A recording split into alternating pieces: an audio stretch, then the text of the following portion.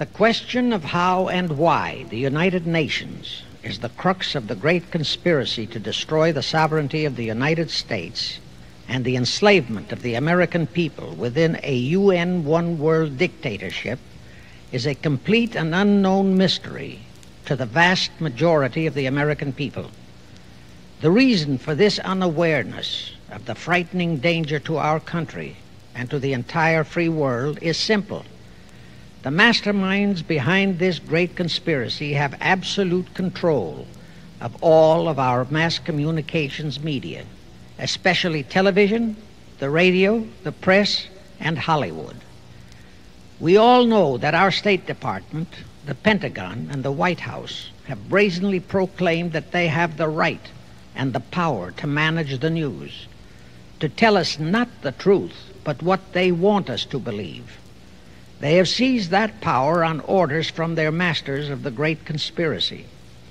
And the objective is to brainwash the people into accepting the phony peace bait to transform the United States into an enslaved unit of the United Nations one world government. First of all, bear in mind that the so called UN police action in Korea, fought by the United States, in which 150,000 of our sons were murdered and maimed, was part of the plot, just as the undeclared by Congress war in Vietnam, in which our sons are dying, is part of the plot, just as the plot against Rhodesia and South Africa, in which our sons will be dying, is part of the UN plot. However, the vitally important thing for all Americans all you mothers of the boys who died in Korea and are now dying in Vietnam to know is that our so called leaders in Washington, whom we elected to safeguard our nation and our Constitution, are the betrayers, and that behind them are a comparatively small group of men whose sole objective is to enslave the whole world of humanity in their satanic plot of one world government. Now, in order to give you a very clear picture of this satanic plot, I will go back to its beginning, clear back in the middle of the 18th century, and name the men who put that plot into action, and then bring you down to the present, today's status of that plot. Now, as a matter of further intelligence, a term used by the FBI, let me clarify the meaning of the expression he is a liberal. The enemy, meaning the one world conspirators, have seized upon that word liberal as a cover up for their activities. It sounds so innocent and so humanitarian to be liberal. Well, make sure that the person who calls himself a liberal or is described as a liberal is not in truth a red. Now then, this satanic plot was launched back in the 1760s when it first came into existence under the name of the Illuminati. This Illuminati was organized by one Adam Weishaupt, born a Jew, who was converted to Catholicism and became a Catholic priest. And then, at the behest of the then newly organized House of Rothschild, defected and organized the Illuminati. Naturally, the Rothschilds financed that operation. And every war since then, beginning with the French Revolution, has been promoted by the Illuminati operating under various names and guises. I say under various names and guises because after the Illuminati was exposed and became too notorious, Weishaupt and his co conspirators began to operate under various other names. In the United States, immediately after World War I, they set up what they called the Council on Foreign Relations, commonly referred to as the CFR. And this CFR is actually the Illuminati in the United States. And its hierarchy, the masterminds in control of the CFR, to a very great extent are the descendants of the original Illuminati conspirators. But to conceal that fact, most of them changed their original family names to American sounding names. For example, the true name of the Dillons, Clarence and Douglas Dillon, once Secretary of the U.S. Treasury Department, is Lapowski. I'll come back to all this later. There is a similar establishment of the Illuminati in England, operating under the name of the British Institute of International Affairs. There are similar secret Illuminati organizations in France, Germany, and other nations operating under different names. And all these organizations, including the CFR, continuously set up numerous subsidiary or front organizations that are infiltrated into every phase of the various nations' affairs. But at all times, the operations of these organizations were and are masterminded and controlled by the internationalist bankers who in turn were and are controlled by the Rothschilds. The details of how they accomplished the setting up of the CFR in the United States, as also in the other nations, are far too voluminous to be described in this dissertation. But you can find it complete in News Bulletin number 122 entitled UN is Spawn of the Illuminati and News Bulletin number 123 entitled CFR Completely Unmasked as Illuminati. Both are published by the Cinema Educational Guild, Post Office Box 46205, Hollywood, California. You can get them for 50 cents per copy by writing to that address. Those news bulletins reveal the names of the original founders of the Illuminati and the Americanized names of their descendants in the present CFR. Now I'll go back to the activities of the original Illuminati conspirators. As revealed in News Bulletin number 122, one branch of the Rothschild family had financed Napoleon. Another branch of the Rothschilds both branches, the real masterminds of the Illuminati, financed Britain, Germany, and the other nations in the Napoleonic Wars. Immediately after the Napoleonic Wars, the Illuminati assumed that all the nations were so destitute and so weary of wars that they'd be glad for any solution. So the Rothschild stooges set up what they called the Congress in Vienna, and at that meeting they tried to create the first League of Nations, their first attempted one world government, on the theory that all the crowned heads of the European governments were so deeply in debt to them that they would willingly or unwillingly serve as their stooges. But the Tsar of Russia caught the stench of the plot and completely torpedoed it. The enraged Nathan Rothschild, then the head of that dynasty, vowed that someday he or his descendants would destroy the Tsar and his entire family. And his descendants did accomplish that very threat in 1917. At this point, bear in mind that the Illuminati was not set up to operate on a short range basis. Normally, a conspirator of any type enters into a conspiracy with the expectation of achieving his objective during his own lifetime. But that was not the case with the Illuminati. True, they hoped to accomplish their objective during their lifetime. But, paraphrasing, the show must go on, the Illuminati operates on the very long range basis. Whether it will take scores of years or even centuries, they have dedicated their descendants to keep the plot boiling until they hope the conspiracy is achieved. Now let's go back to the birth of the Illuminati. Adam Weishaupt was a Jesuit trained professor of canon law, teaching in Ingolstadt University when he defected from Christianity to embrace the Luciferian conspiracy. It was in 1770 that the professional moneylenders, the then recently organized House of Rothschild, retained him to revise and modernize the age old protocols of Zionism, which from the outset was designed to give the synagogue of Satan, so named by Jesus Christ, ultimate world domination so they could impose the Luciferian ideology upon what would remain of the human race after the final social cataclysm by use of satanic despotism. Weishaupt completed his task May 1st, 1776. Now you know why May 1 is the great day with all communist nations to this very day.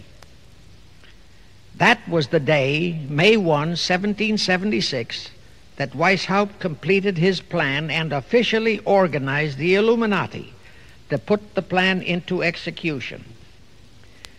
That plan required the destruction of all existing governments and religions. That objective was to be reached by dividing the masses of people whom he, Weishaupt, termed Goyim, or human cattle, into opposing camps in ever increasing numbers on political, social, economic, and other issues, the very conditions we have in our country today. The opposing sides were then to be armed and incidents provided which would cause them to fight and weaken themselves and gradually destroy national governments and religious institutions. Again, I say, the very conditions in the world today. And at this point, let me stress a prime feature of the Illuminati plans. When and if their blueprint for world control, the protocols of the elders of Zion, is discovered and exposed, they would wipe all the Jews off the face of the earth in order to divert suspicions from themselves. If you think this is far fetched, bear in mind that they permitted Hitler a liberal socialist himself who was financed by Krupp, Kennedy, the Warburgs, and the Rothschilds to incinerate 600,000 Jews. Now, just why did the conspirators choose the word Illuminati for their satanic organization? Weishaupt himself said that the word is derived from Lucifer and means holders of the light using the lie that his objective was to bring about a one world government to enable those with mental ability to govern the world and prevent all wars in the future. In short, using the word peace on earth as his bait, exactly as that same bait, peace, was used by the 1945 conspirators to foist the United Nations on us, Weishaupt financed, I repeat, by the Rothschilds, recruited some 2,000 paid followers. These included the most intelligent men in the fields of arts and letters, education, the sciences, finance, and industry. He then established lodges of the Grand Orient, Masonic lodges, to be their secret headquarters. And I again repeat, that in all of this he was acting under orders from the House of Rothschild.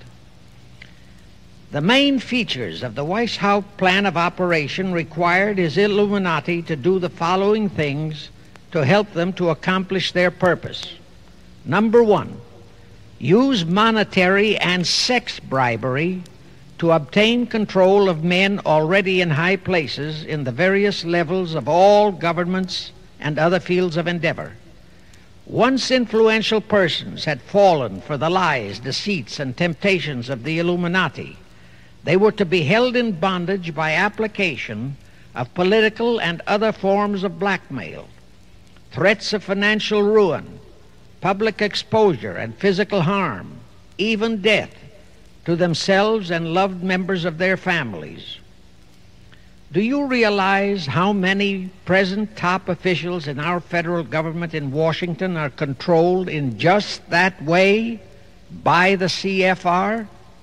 Do you realize how many homosexuals in our State Department, the Pentagon, all federal agencies, even in the White House, are controlled that way?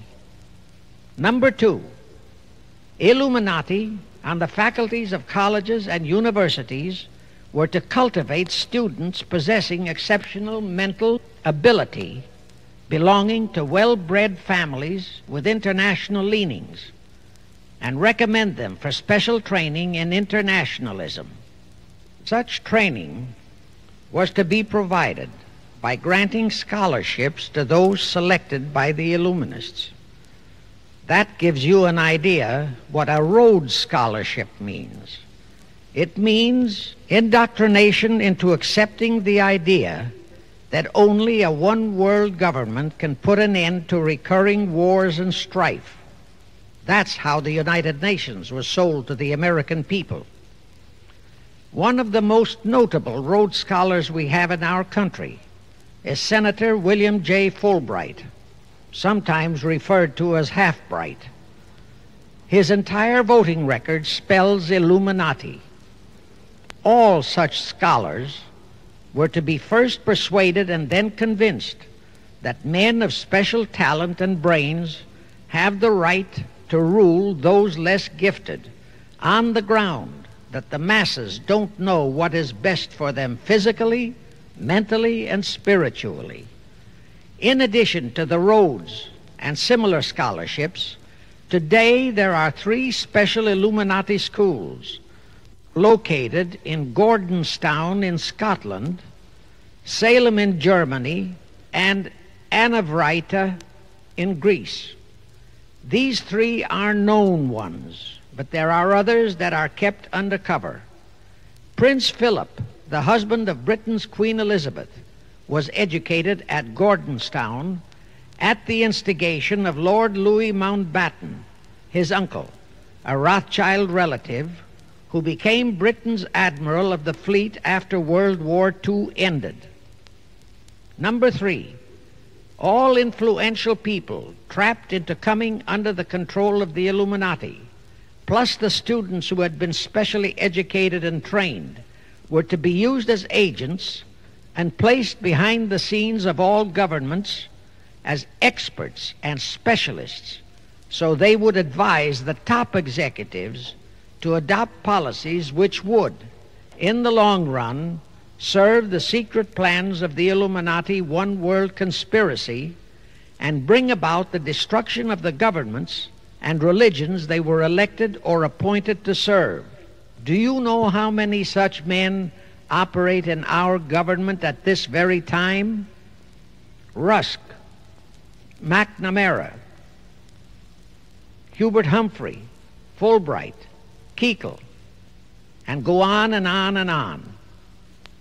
Number four, perhaps the most vital directive in Weishaupt's plan was to obtain absolute control of the press at that time the only mass communications media, to distribute information to the public so that all news and information could be slanted so that the masses could be convinced that a one world government is the only solution to our many and varied problems. Now, do you know who owns and controls our mass communications media? I'll tell you, practically all the movie lots in Hollywood is owned by the Lehmans, Kuhn Loeb and Company, Goldman Sachs, and other internationalist bankers. All the national radio and TV channels in the nation are owned and controlled by those same internationalist bankers. The same is true of every chain of metropolitan newspapers and magazines, also of the press wire services such as Associated Press, United Press International, etc. The supposed heads of all those media are merely the fronts for the internationalist bankers who in turn compose the hierarchy of the CFR, today's Illuminati in America.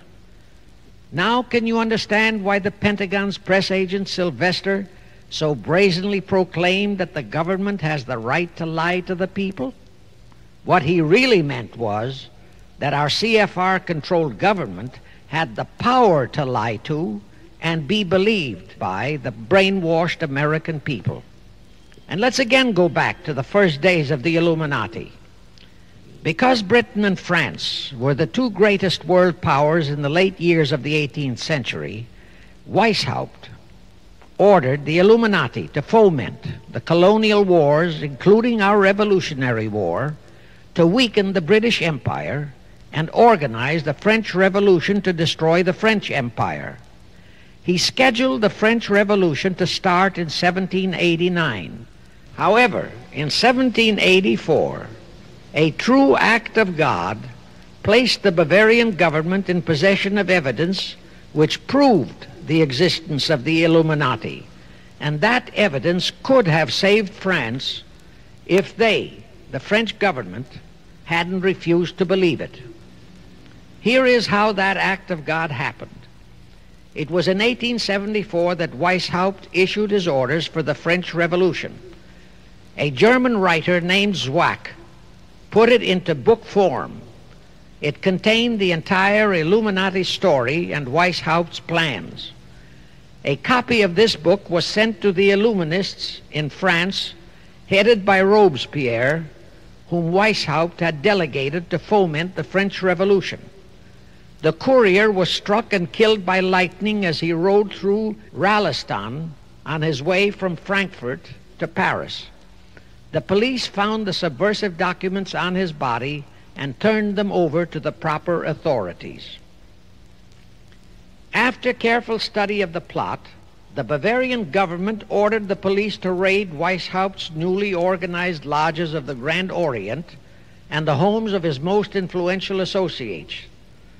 All additional evidence thus discovered convinced the authorities the documents were genuine copies of the conspiracy by which the Illuminati planned to use wars and revolutions to bring about the establishment of a one world government the powers of which they, headed by the Rothschilds, intended to usurp as soon as it was established, exactly in line with the United Nations plot of today. In 1785, the Bavarian government outlawed the Illuminati and closed the lodges of the Grand Orient. In 1786, they published all the details of the conspiracy. The English title of that publication is The Original Writings of the Order and Sect of the Illuminati. Copies of the entire conspiracy were sent to all the heads of church and state in Europe. But the power of the Illuminati, which was actually the power of the Rothschilds, was so great that this warning was ignored. Nevertheless, Illuminati became a dirty word, and it went underground. At the same time, Weishaupt ordered Illuminists to infiltrate into the lodges of Blue Masonry and form their own secret societies within all secret societies. Only Masons who proved themselves internationalists and those whose conduct proved they had defected from God were initiated into the Illuminati. Thenceforth, the conspirators donned the cloak of philanthropy and humanitarianism to conceal their revolutionary and subversive activities. In order to infiltrate into Masonic lodges in Britain, Weishaupt invited John Robison over to Europe. Robison was a high degree Mason in the Scottish Rite. He was a professor of natural philosophy at Edinburgh University and secretary of the Royal Society of Edinburgh. Robison did not fall for the lie that the objective of the Illuminati was to create a benevolent dictatorship, but he kept his reactions to himself so well that he was entrusted with a copy of Weishaupt's revised conspiracy for study and safekeeping. Anyway, because the heads of state and church in France were deluded into ignoring the warnings given them, the revolution broke out in 1789 as scheduled by Weishaupt. In order to alert other governments to their danger, in 1798 Robison published a book entitled Proof of a Conspiracy to Destroy All Governments and Religions. But his warnings were ignored exactly as our American people have been ignoring all warnings about the United Nations and the Council on Foreign Relations, the CFR. Now, here is something that will stun and very likely outrage many who hear this, but there is documentary proof that our own Thomas Jefferson and Alexander Hamilton became students of Weishaupt. Jefferson was one of Weishaupt's strongest defenders when he was outlawed by his government. And it was Jefferson who infiltrated the Illuminati into the then newly organized lodges of the Scottish Rite in New England. Here is the proof. In 1789, John Robison warned all Masonic leaders in America that the Illuminati had infiltrated into their lodges. And on July 19, 1789, David Papin, president of Harvard University, issued the same warning to the graduating class and lectured them on the influence Illuminism was acquiring on American politics and religion.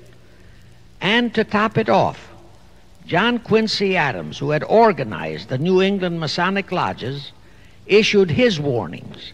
He wrote three letters to Colonel William L. Stone, a top Mason, in which he exposed how Jefferson was using Masonic lodges for subversive, illuministic purposes. Those three letters are at this very time in Rittenberg Square Library in Philadelphia. In short, Jefferson, founder of the Democratic Party, was a member of the Illuminati which at least partly accounts for the condition of the party at this time. And through infiltrations of the Republican Party, we have exactly nothing of loyal Americanism today. That disastrous rebuff at the Congress at Vienna, created by the Tsar of Russia, did not by any means destroy the Illuminati conspiracy. It merely forced them to adopt a new strategy realizing that the one world idea was, for the moment, killed, the Rothschilds decided that to keep the plot alive, they'd have to do it by heightening their control of the money systems of the European nations. Earlier, by a ruse, the outcome of the Battle of Waterloo had been falsified. Rothschild had spread a story that Napoleon had won that battle that had precipitated a terrific panic on the stock market in England.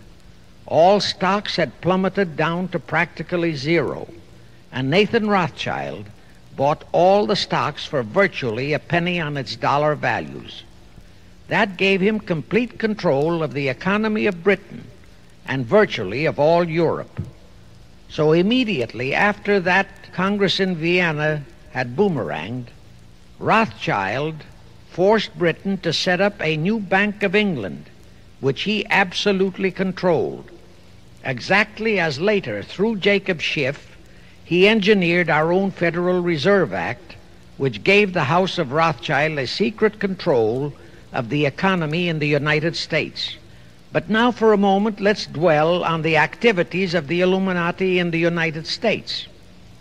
In 1826, one Captain William Morgan decided it was his duty to inform all Masons and the general public what the full truth was regarding the Illuminati, their secret plans and intended objectives, also reveal the identities of the masterminds of the conspiracy. The Illuminati promptly tried Morgan in absentia and convicted him of treason. They ordered one Richard Howard, an English Illuminist, to carry out their sentence of execution as a traitor. Morgan was warned and he tried to escape to Canada. But Howard caught up with him near the border, near the Niagara Gorge, to be exact, where he murdered him. This was verified in a sworn statement made in New York by one Avery Allen to the effect that he heard Howard render his report of the execution to a meeting of Knights Templars in St. John's Hall, New York. He also told how arrangements had been made to ship Howard back to England. That Allen affidavit is on record in New York City archives. Very few Masons and very few of the general public know that general disapproval over that incident of murder caused approximately half of all the Masons in the northern jurisdiction of the United States to secede. Copies of the minutes of the meeting held to discuss that matter are still in existence in safe hands, and that all that secrecy emphasizes the power of the masterminds of the Illuminati to prevent such terrible events of history from being taught in our schools. In the early 1850s, the Illuminati held a secret meeting in New York, which was addressed by a British Illuminist named Wright. Those in attendance were told that the Illuminati was organizing to unite the nihilist and atheist groups with all other subversive groups into an international to be known as communists. That was when the word communist first came into being, and it was intended to be the supreme weapon and scare word to terrify the whole world and drive the terrorized peoples into the Illuminati one world scheme. This scheme, communism, was to be used to enable the Illuminati to foment future wars and revolutions Clinton Roosevelt, a direct ancestor of Franklin Roosevelt, Horace Greeley and Charles Dana, foremost newspaper publishers of that time, were appointed to head a committee to raise funds for the new venture. Of course, most of the funds were provided by the Rothschilds. And this fund was used to finance Karl Marx and Engels when they wrote Das Kapital and the Communist Manifesto in Soho, England. And this clearly reveals that communism is not a so called ideology, but a secret weapon, a bogeyman word to serve the purpose of the Illuminati. Weishaupt died in 1830, but prior to his death, he prepared a revised version of the age old conspiracy, the Illuminati, which, under various aliases, was to organize, finance, direct, and control all international organizations and groups by working their agents into executive positions at the top. In the United States, we have Woodrow Wilson, Franklin Roosevelt, Jack Kennedy, Johnson, Rusk, McNamara, Fulbright, etc., as prime examples. In addition, while Karl Marx was writing the Communist Manifesto under the direction of one group of Illuminists, Professor Karl Ritter of Frankfurt University was writing the antithesis under direction of another group. The idea was that those who direct the overall conspiracy could use the differences in those two so called ideologies to enable them to divide larger and larger members of the human race into opposing camps so that they could be armed and then brainwashed into fighting and destroying each other, and particularly to destroy all political and religious institutions. The work Ritter started was continued after his death and completed by the German so called philosopher Friedrich Wilhelm Nietzsche, who founded Nietzscheism.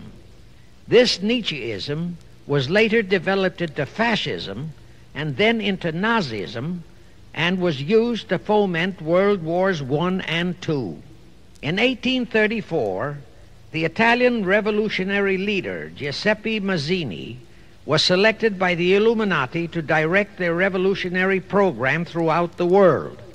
He served in that capacity until he died in 1872. But some years before he died, Mazzini had enticed an American general named Albert Pike into the Illuminati. Pike was fascinated by the idea of a one world government, and ultimately he became the head of this Luciferian conspiracy. Between 1859 and 1871, he, Pike, worked out a military blueprint for three world wars and various revolutions throughout the world, which he considered would forward the conspiracy to its final stage in the 20th century. Again, I remind that these conspirators were never concerned with immediate success. They always operated on a long range view. Pike did most of his work in his home in Little Rock, Arkansas. But a few years later, when the Illuminati's lodges of the Grand Orient became suspect and repudiated because of Mazzini's revolutionary activities in Europe, Pike organized what he called the new and reformed Palladian Rite. He set up three Supreme Councils one in Charleston, South Carolina, one in Rome, Italy, and the third in Berlin, Germany. He had Mazzini establish 23 subordinate councils in strategic locations throughout the world. These have been the secret headquarters of the world revolutionary movement ever since.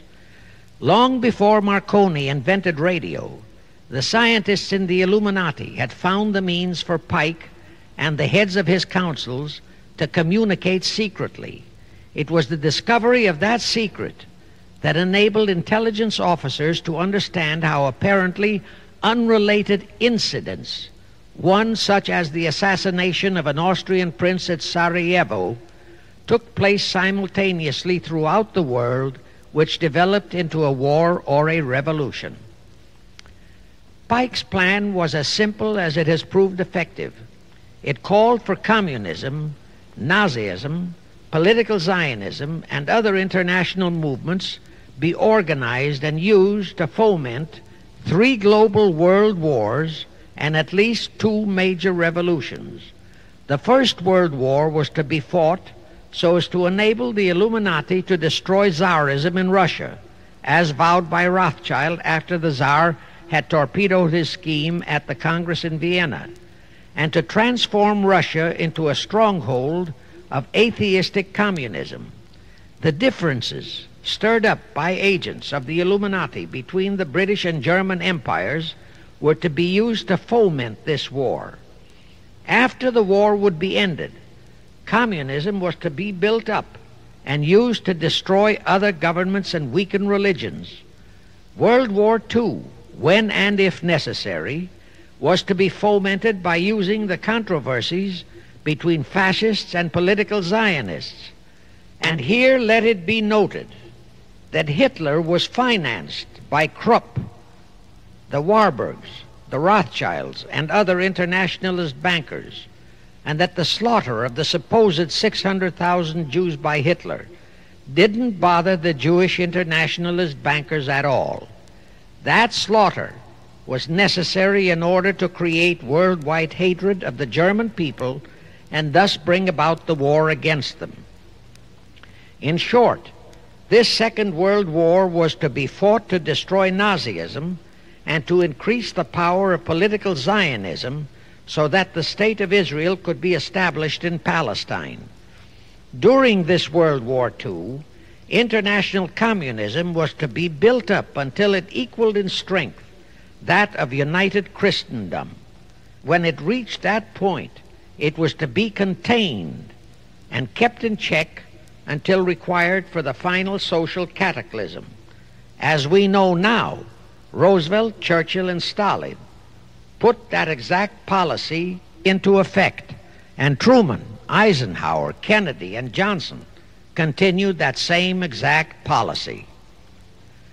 World War III is to be fomented by using the so called controversies, the agents of the Illuminati, operating under whatever new name, are now stirring up between the political Zionists and the leaders of the Muslim world. That war is to be directed in such a manner that all of Islam and political Zionism, Israel, will destroy each other, while at the same time the remaining nations, once more divided on this issue, will be forced to fight themselves into a state of complete exhaustion, physically, mentally, spiritually, and economically. Now, can any thinking person doubt that the intrigue now going on in the near, middle, and far east is designed to accomplish that satanic objective? Pike himself foretold all this in a statement he made to Mazzini on August 15, 1871. Pike stated that after World War III is ended, those who will inspire to undisputed world domination will provoke the greatest social cataclysm the world has ever known. Quoting his own words, taken from the letter he wrote to Mazzini, and which letter is now catalogued in the British Museum in London, England, he said, We shall unleash the nihilists and the atheists, and we shall provoke a great social cataclysm which, in all its horror, will show clearly to all nations the effect of absolute atheism, the origin of savagery and of most bloody turmoil. Then everywhere the people forced to defend themselves against the world minority of revolutionaries will exterminate those destroyers of civilization and the multitudes disillusioned with Christianity, whose deistic spirits will be from that moment on without direction and leadership, and anxious for an ideal but without knowledge where to send its adoration, will receive the true light through the universal manifestation of the pure doctrine of Lucifer, brought finally out into public view, a manifestation which will result from a general reactionary movement which will follow the destruction of Christianity and atheism, both conquered and exterminated at the same time. When Mazzini died in 1872, Pike made another Italian revolutionary leader named Adrian Lemmi his successor. Lemmi, in turn, was succeeded by Lenin and Trotsky, then by Stalin. The revolutionary activities of all those men were financed by British, French, German, and American international bankers, all of them dominated by the House of Rothschild. We are supposed to believe that the international bankers of today, like the money changers of Christ's day, are only the tools or agents of the great conspiracy, but actually they are the masterminds behind all of it. While the general public has been brainwashed by all the mass communications media into believing that communism is a movement of the so called workers, the actual fact is that both British and American intelligence officers have authentic documentary evidence that international liberals operating through their international banking houses, particularly the House of Rothschild, have financed both sides in every war and revolution since 1776.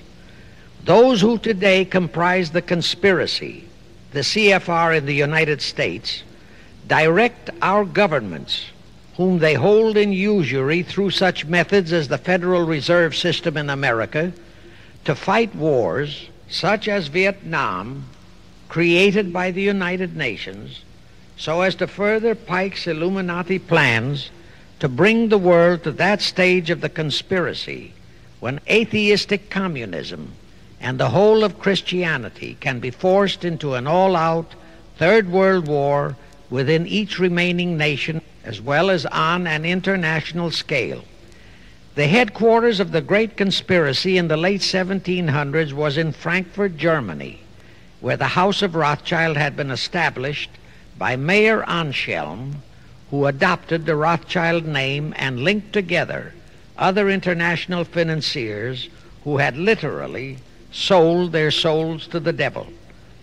After the Bavarian government's exposure in 1786, the conspirators moved their headquarters to Switzerland then to London.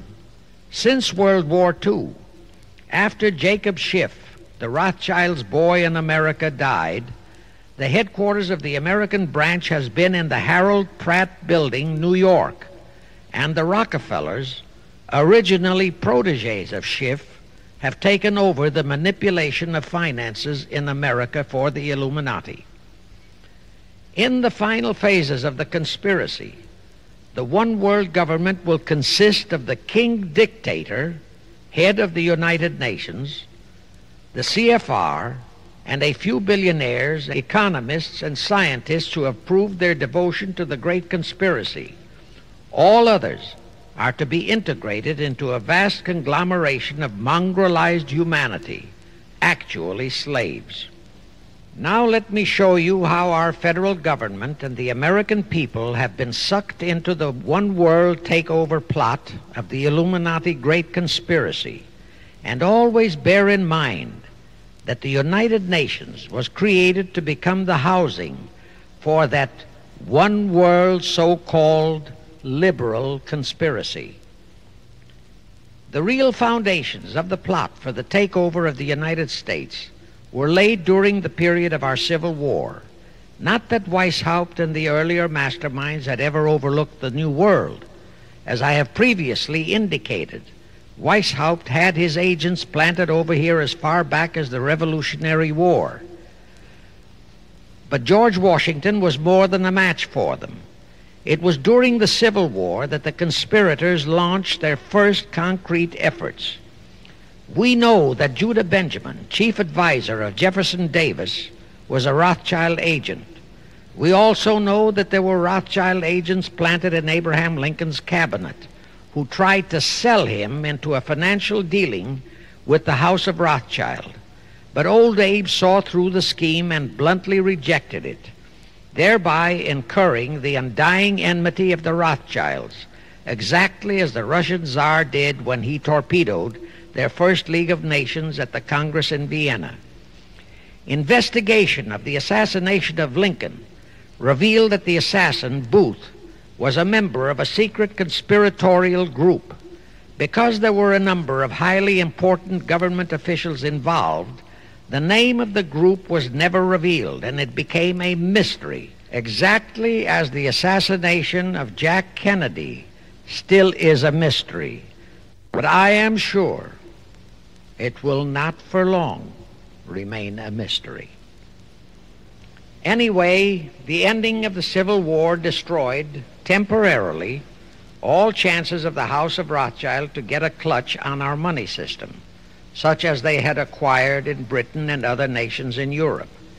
I say temporarily because the Rothschilds and the masterminds of the conspiracy never quit. So they had to start from scratch. But they lost no time in getting started.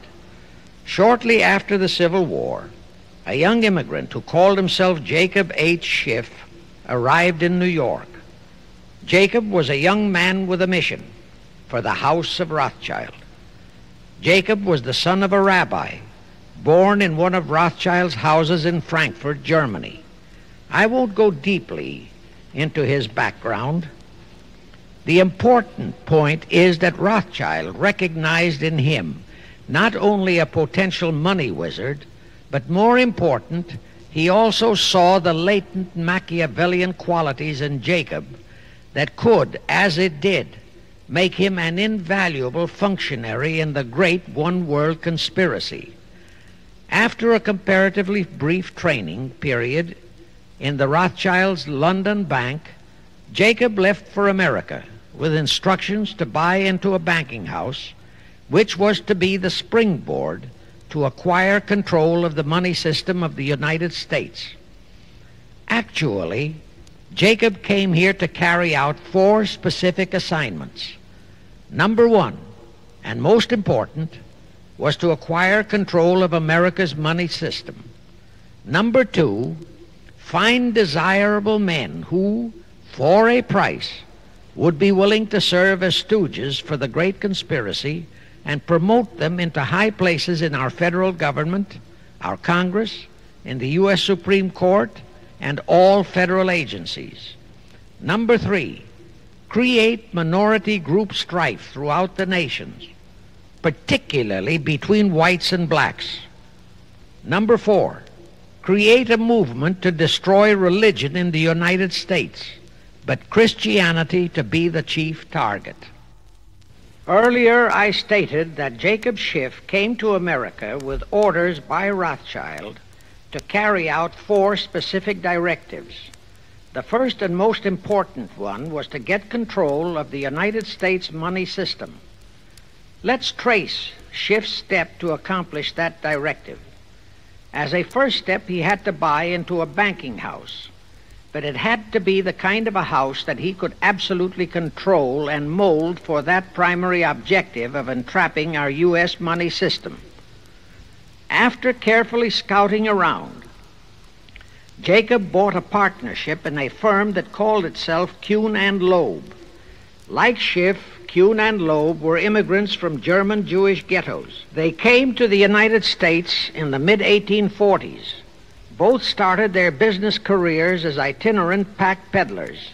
In the early 1850s, they pooled their interests and set up a merchandising store in Lafayette, Indiana, under the firm name of Kuhn and Loeb, servicing the covered wagon settlers on their way west. In the years that followed, they set up similar stores in Cincinnati and St. Louis. Then they added pawnbroking to their merchandising pursuits. From that to money lending was a short and quick step. By the time Schiff arrived on the scene, Kuhn and Loeb was a well-known private banking firm, and this is the firm Jacob bought into. Shortly after he became a partner in Kuhn and Loeb, Schiff married Loeb's daughter, Teresa. Then he bought out Kuhn's interests and moved the firm to New York, and Kuhn and Loeb became Kuhn, Loeb and Company international bankers with Jacob Schiff, agent of the Rothschilds, ostensibly the sole owner. And throughout his career, this blend of Judas and Machiavelli, the first hierarch of the Illuminati, great conspiracy in America, posed as a generous philanthropist and a man of great holiness, the cover up policy set forth by the Illuminati. As I have stated, the first great step of the conspiracy was to be the entrapment of our money system. To achieve that objective, Schiff had to get full cooperation of the then big banker elements in America. And that was easier said than done. Even in those years, Wall Street was the heart of the American money mart, and J.P. Morgan was its dictator. Next in line were the Drexels and the Biddles in Philadelphia. All the other financiers, big and little, danced to the music of those three houses, but particularly to that of Morgan.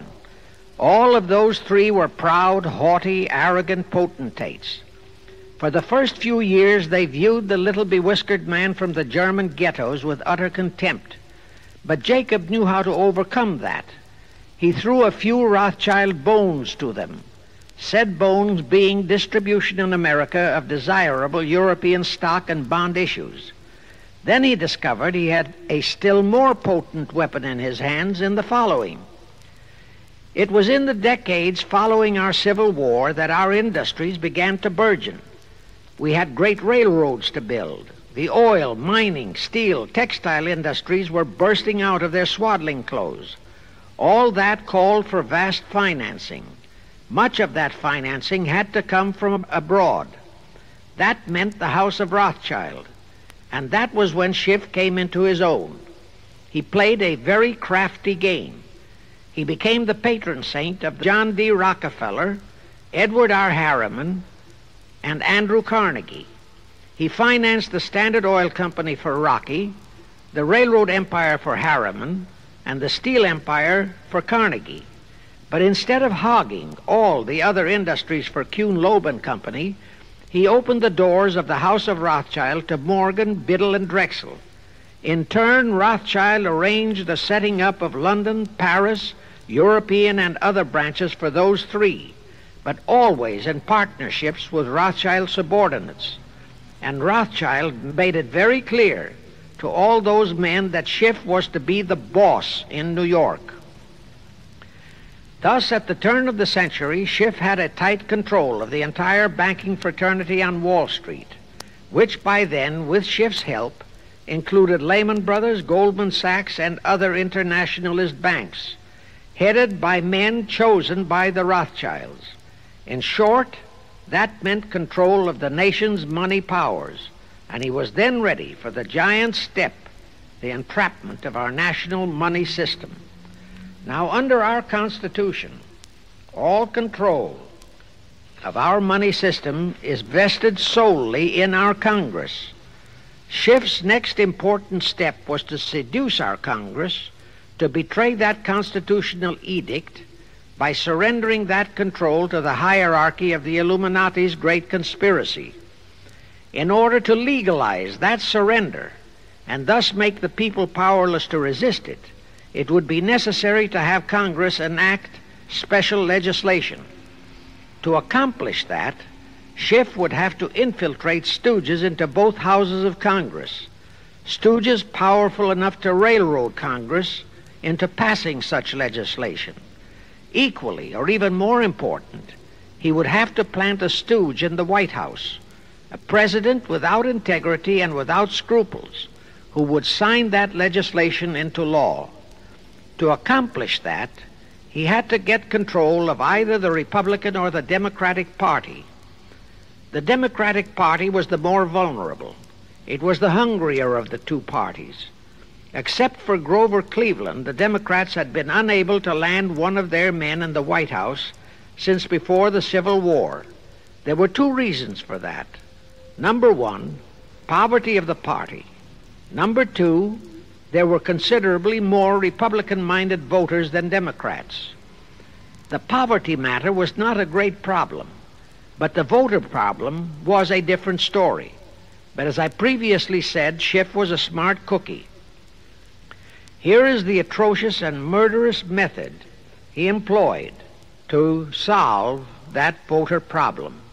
His solution emphasizes how very little the Jewish internationalist bankers care about their own racial brethren, as you shall see. Suddenly, around 1890, there broke out a nationwide series of pogroms in Russia. Many, many thousands of innocent Jews, men, women, and children, were slaughtered by the Cossacks and other peasants. Similar pogroms with similar slaughter of innocent Jews broke out in Poland, Romania, and Bulgaria. All those pogroms were fomented by Rothschild agents. As a result, Jewish terrified refugees from all those nations swarmed into the United States. And that continued throughout the next two or three decades because the pogroms were continuous through all those years. All those refugees were aided by self styled humanitarian committees set up by Schiff, the Rothschilds, and all the Rothschild affiliates. In the main, the refugees streamed into New York. But the Schiff Rothschild humanitarian committees found ways to shuffle many of them into other large cities, such as Chicago, Boston, Philadelphia, Detroit, Los Angeles, etc. All of them were quickly transformed into naturalized citizens and educated to register as Democrats. Thus, all of that so called minority group became solid Democratic voter blocs in their communities all controlled and maneuvered by their so called benefactors. And shortly after the turn of the century, they became vital factors in the political life of our nation. That was one of the methods Schiff employed to plant men like Nelson Aldrich in our Senate and Woodrow Wilson in the White House. At this point, let me remind you of another of the important jobs that was assigned to Schiff when he was dispatched to America. I refer to the job of destroying the unity of the American people by creating minority group and racial strife. By the pogrom driven Jewish refugees into America, Schiff was creating one ready made minority group for that purpose. But the Jewish people as a whole, made fearful by the pogroms, could not be depended upon to create the violence necessary to destroy the unity of the American people. But right within America, there was an already made to order, although as yet a sleeping minority group, the Negroes, who could be sparked into so called demonstrations, rioting, looting, murder, and every other type of lawlessness. All that was necessary was to incite and arouse them. Together, those two minority groups, properly maneuvered, could be used to create exactly the kind of strife in America the Illuminati would need to accomplish their objective. Thus, at the same time that Schiff and his co conspirators were laying their plans for the entrapment of our money system, they were also perfecting plans to hit the unsuspecting American people with an explosive and terrifying racial upheaval that would tear the people into hate fractions and create chaos throughout the nation, especially on all college and university campuses. all protected by Earl Warren decisions and our so called leaders in Washington. Of course, perfecting those plans required time and infinitely patient organizing. Now, to remove all doubts, I'll take a few moments to give you documentary proof of this racial strife plot. First of all, they had to create leaderships and organizations to draw in millions of dupes, both Jewish and Negroes, who would do the demonstrating and commit the rioting, looting, and lawlessness. So in 1909, Schiff, the Lehmans, and other conspirators organized and set up the National Association for the Advancement of the Colored People, known as the NAACP. The presidents, directors, and legal counsels of the NAACP were always white men, Jews appointed by Schiff. And this is the case to this very day. Then, in 1913, the Schiff Group organized the Anti Defamation League of the B'nai B'rith, commonly known as the ADL, to serve as the Gestapo and hatchet man outfit for the entire great conspiracy. Today, this sinister ADL maintains over 2,000 agencies in all parts of the country, and they advise and completely control every action of the NAACP CORE of the Urban League, of all the other so called Negro civil rights organizations throughout the nation, including such leaders as Martin Lucifer King, Stokely Carmichael, Bayard Rustin, and others of that ilk.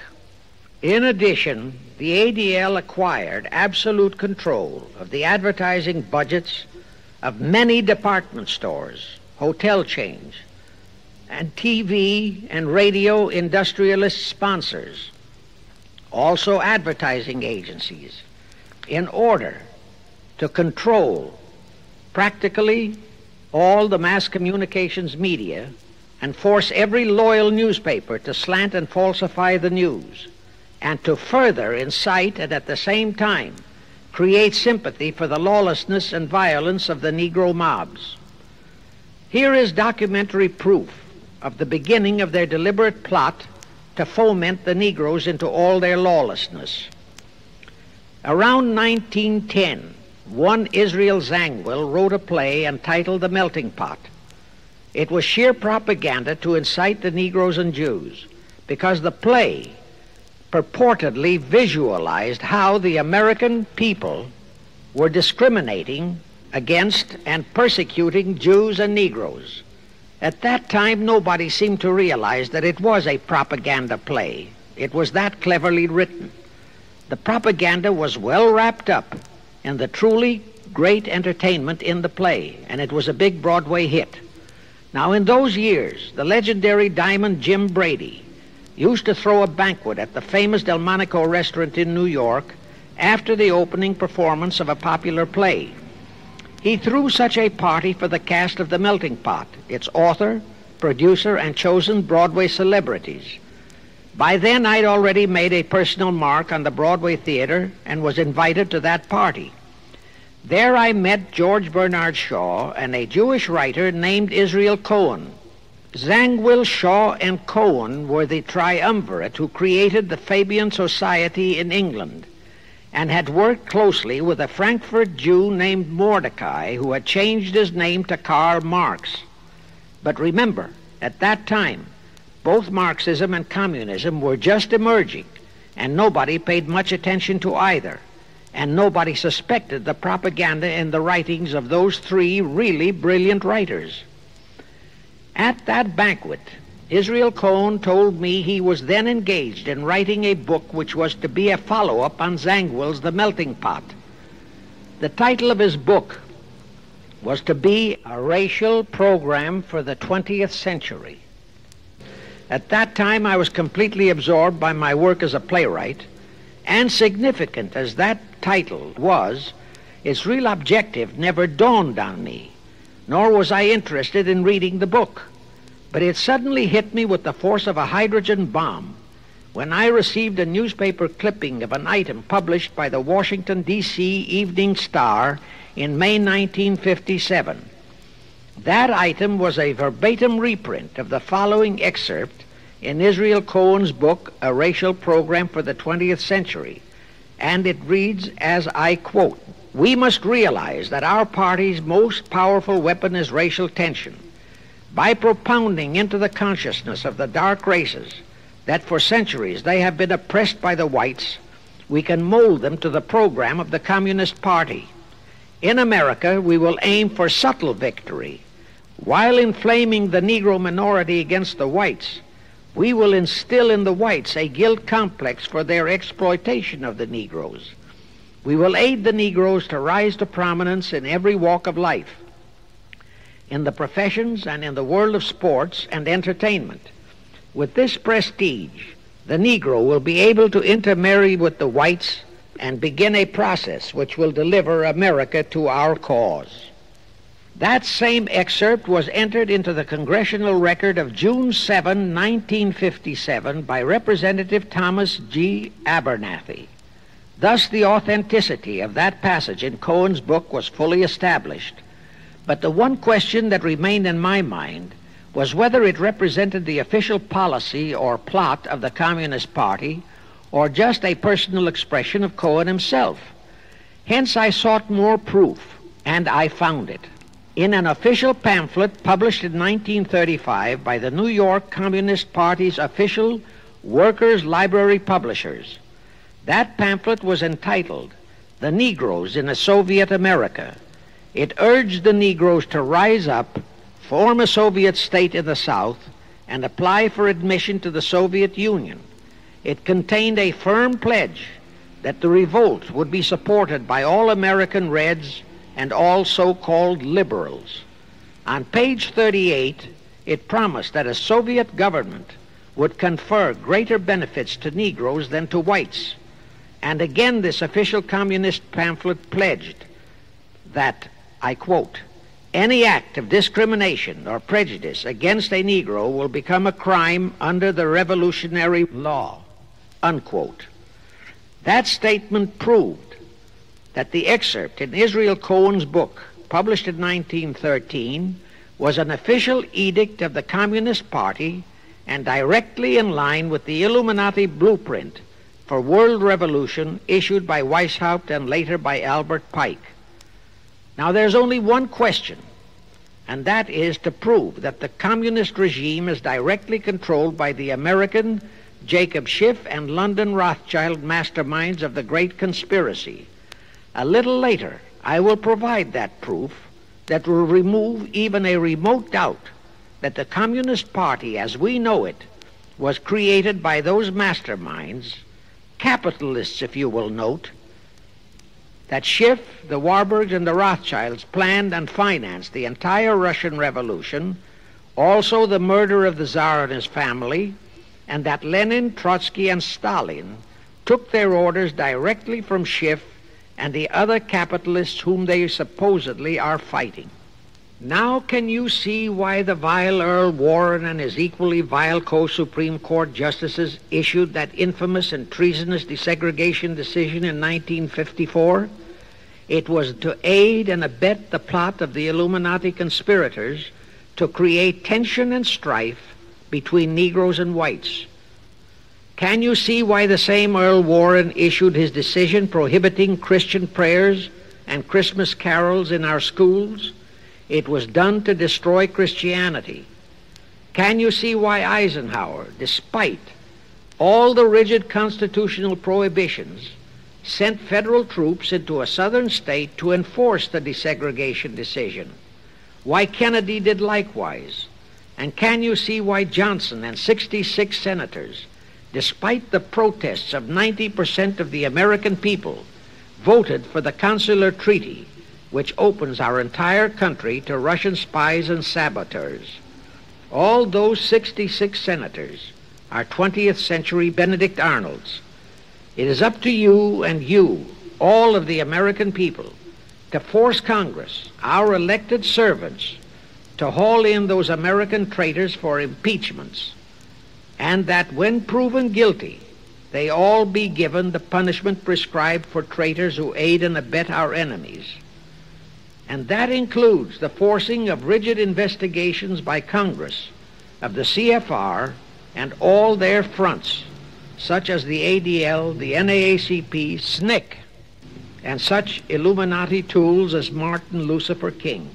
Such investigations will completely unmask all the leaders in Washington and the Illuminati and all their affiliations and affiliates as traitors carrying out the Illuminati plot. It will completely unmask the United Nations as the intended crux of the entire plot and force Congress to take the U.S. out of the UN and hurl the UN out of the U.S. In fact, it will destroy the UN and the entire plot. Before I close this phase, I wish to reiterate and stress one vital point, which I urge you to never forget if you wish to save our country for your children and their children. Here is the point. Every unconstitutional and unlawful act committed by Woodrow Wilson, by Franklin Roosevelt, by Truman, Eisenhower, and Kennedy, and are now being committed by Johnson, is exactly in line with the Illuminati conspirators' centuries old plot outlined by Weishaupt and Albert Pike. Every vicious decision issued by the traitorous Earl Warren and his equally traitorous Supreme Court justices was directly in line with what the Illuminati blueprint required that all the treason committed by our State Department under Rusk and earlier by John Foster Dulles and Marshall, also all the treason committed by McNamara and his predecessors, is directly in line with that same Illuminati blueprint for the takeover of the world. Also, the amazing treason by various members of our Congress, especially by the 66 senators who signed for the Consular Treaty, has been committed on orders from the Illuminati. Now I will go back to Jacob Schiff's entrapment of our money system and the treasonous actions that followed. It will also reveal the Schiff Rothschild control of not only Karl Marx, but of Lenin, Trotsky, and Stalin, who created the revolution in Russia and set up the Communist Party. It was in 1908 that Schiff decided the time had come for his seizure of our money system. His chief lieutenants in that seizure were Colonel Edward Mandel House, whose entire career was that of chief executive and courier for Schiff, as I shall show, Bernard Baruch, and Herbert Lehman. In the fall of that year, they assembled in secret conclave at the Jekyll Island Hunt Club, owned by J.P. Morgan at Jekyll Island, Georgia. Among those present were J.P. Morgan, John D. Rockefeller, Colonel House, Senator Nelson Aldrich, Schiff, Stillman and Vanderlip of the New York National City Bank, W. and J. Seligman, Eugene Meyer, Bernard Baruch, Herbert Lehman, Paul Warburg, in short, all of the international bankers in America, all of them members of the hierarchy of the Illuminati's great conspiracy. A week later, they emerged with what they called the Federal Reserve System. Senator Aldrich was the stooge who was to railroad it through Congress. But they held that railroading in abeyance for one chief reason. They would first have to plant their man, an obedient stooge, in the White House to sign the Federal Reserve Act into law. They knew that even if the Senate would pass that act unanimously, the then newly elected President Taft would promptly veto it. So they waited. In 1912, their man, Woodrow Wilson, was elected to the presidency. Immediately after Wilson was inaugurated, Senator Aldrich railroaded the Federal Reserve Act through both houses of Congress, and Wilson promptly signed it, and the Federal Reserve Act became law. That heinous act of treason was committed in December 23, 1913, two days before Christmas, when all the members of Congress, except for several carefully picked representatives and three equally carefully picked senators, were away from Washington. How heinously treasonous was that act? I'll tell you. Our founding fathers knew full well the power of money. They knew that whoever had that power held the destiny of our nation in his hands. Therefore, they carefully guarded this power when they set forth in the Constitution that Congress, the elected representatives of the people, alone would have that power. The constitutional language on this point is brief, concise, and specific, stated in Article 1, Section 8, Paragraph 5, defining the duties and powers of Congress. And I quote To coin money, regulate the value thereof, and of foreign coin, and the standard of weights and measures. Unquote.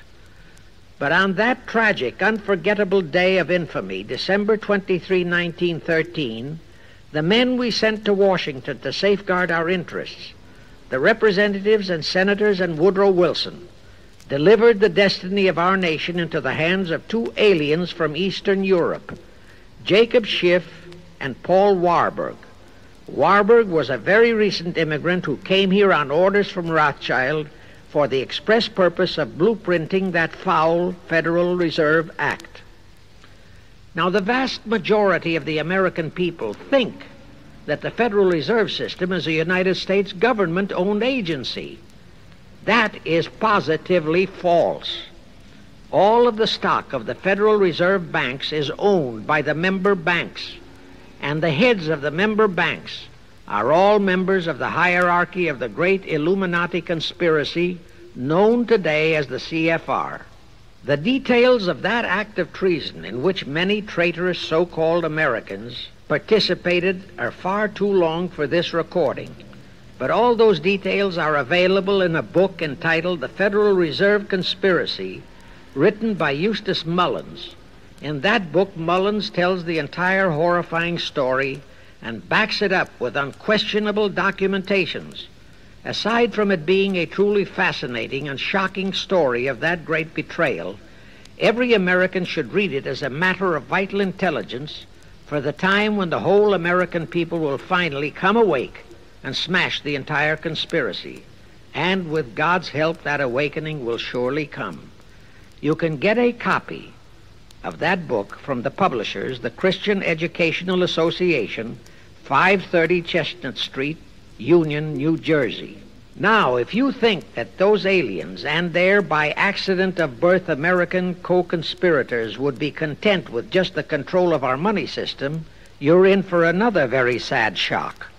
The Federal Reserve System gave the conspirators complete control of our money system, but it in no way touched the earnings of the people because the Constitution positively forbids what is now known as the 20% withholding tax.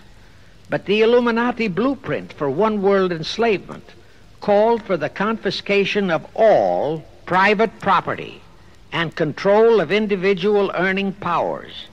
This, and Karl Marx stressed that feature in his blueprint, had to be accomplished by a progressive graduated income tax as I stated, such a tax could not lawfully be imposed upon the American people. It is succinctly and expressly forbidden by our Constitution. Thus, only an amendment to the Constitution could give the federal government such confiscatory powers. Well, that too was not an insurmountable problem for our Machiavellian plotters. The same elected leaders in both houses of Congress and the same Mr. Woodrow Wilson, who signed the infamous Federal Reserve Act into law, amended the Constitution to make the federal income tax, known as the 16th Amendment, a law of the land. Both are illegal under our Constitution. In short, the same traitors signed both betrayals, the Federal Reserve Act and the 16th Amendment, into law. However, it seems that nobody ever realized that the 16th Amendment was set up to rob, and I do mean rob, the people of their earnings via the income tax provision. The plotters didn't fully use that provision until World War II, when that great humanitarian, Franklin Roosevelt, applied a 20% withholding tax on all small wage earners and up to 90% on higher incomes.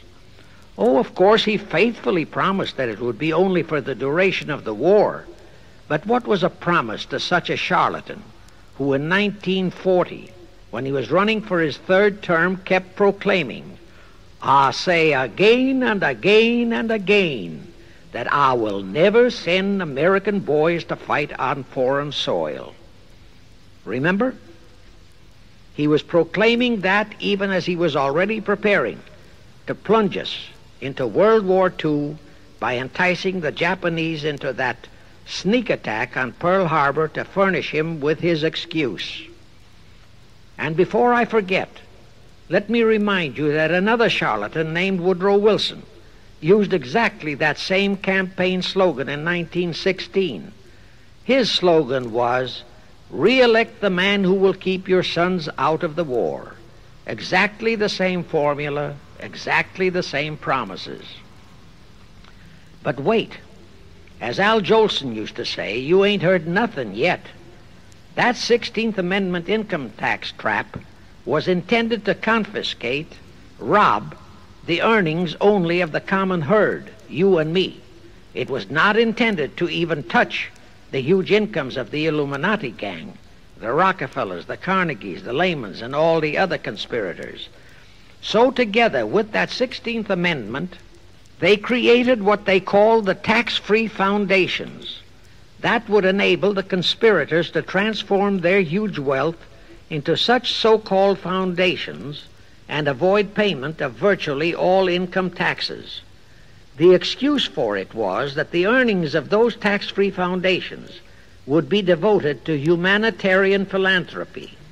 So we now have the several Rockefeller foundations, the Carnegie Endowment Fund, the Ford Foundation, the Mellon Foundation, and hundreds of similar tax free foundations. And what kind of philanthropy do these foundations support? Well, they finance all the civil rights groups that are creating all the chaos and rioting all over the country. They finance the Martin Lucifer Kings.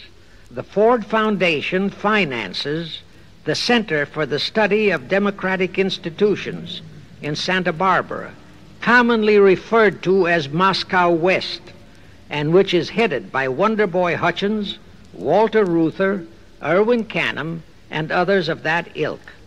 In short, the tax free foundation financed those who are doing the job for the Illuminati great conspiracy. And what are the hundreds of billions of dollars they confiscate every year from the earnings of the common herd, you and me, used for?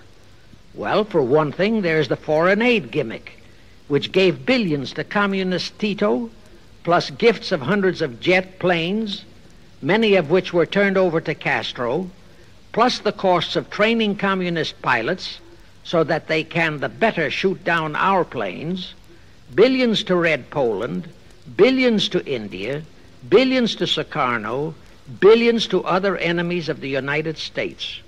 That's what that treasonously railroaded 16th Amendment has done to our nation, to the American people, to you and to me, to your children and their children.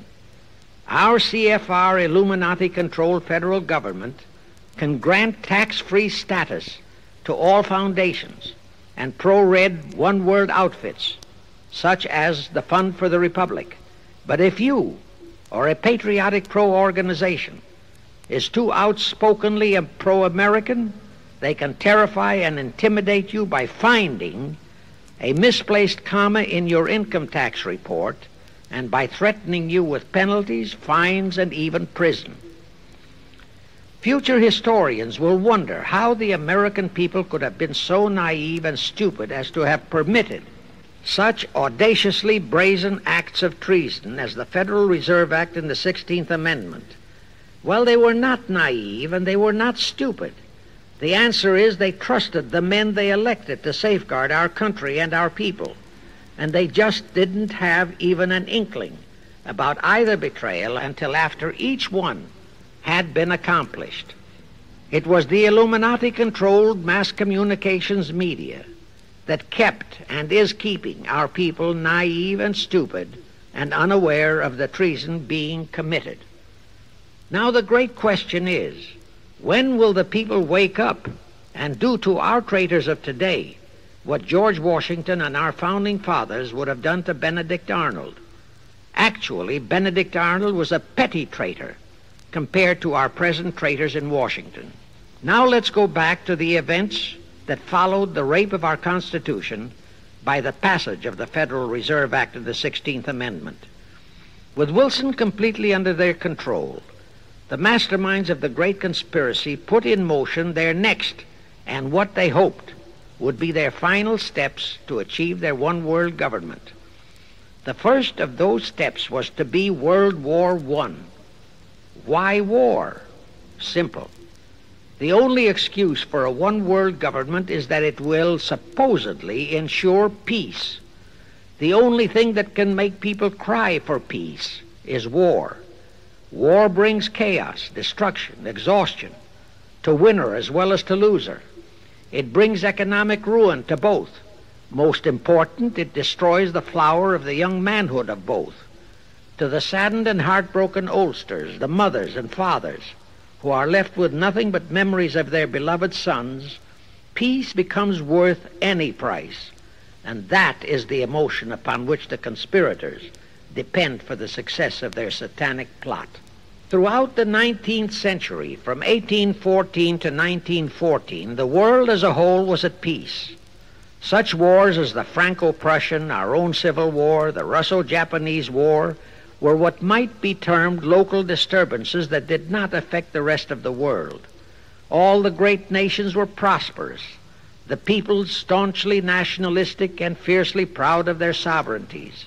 It was utterly unthinkable that the French and the German peoples would be willing to live under a one world government, or the Turks and the Russians, or the Chinese and the Japanese.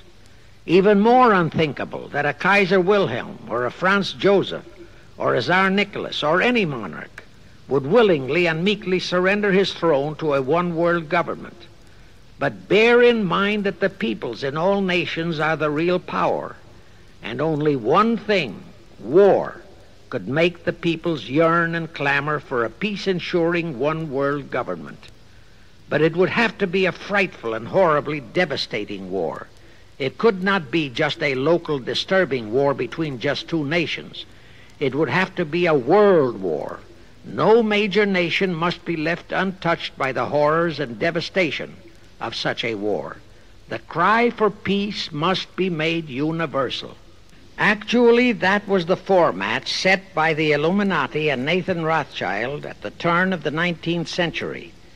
They first maneuvered all of Europe into the Napoleonic Wars.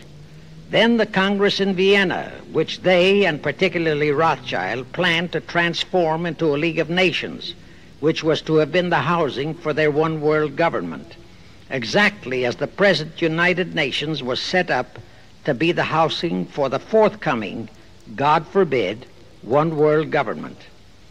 Anyway, that was the format the House of Rothschild and Jacob Schiff decided to employ to achieve their objective in 1914. Of course, they knew that that same format had failed in 1814, but they theorized that was only because the Tsar of Russia had torpedoed that scheme. Well, the present 1914 conspirators would eliminate that 1814 fly in the ointment.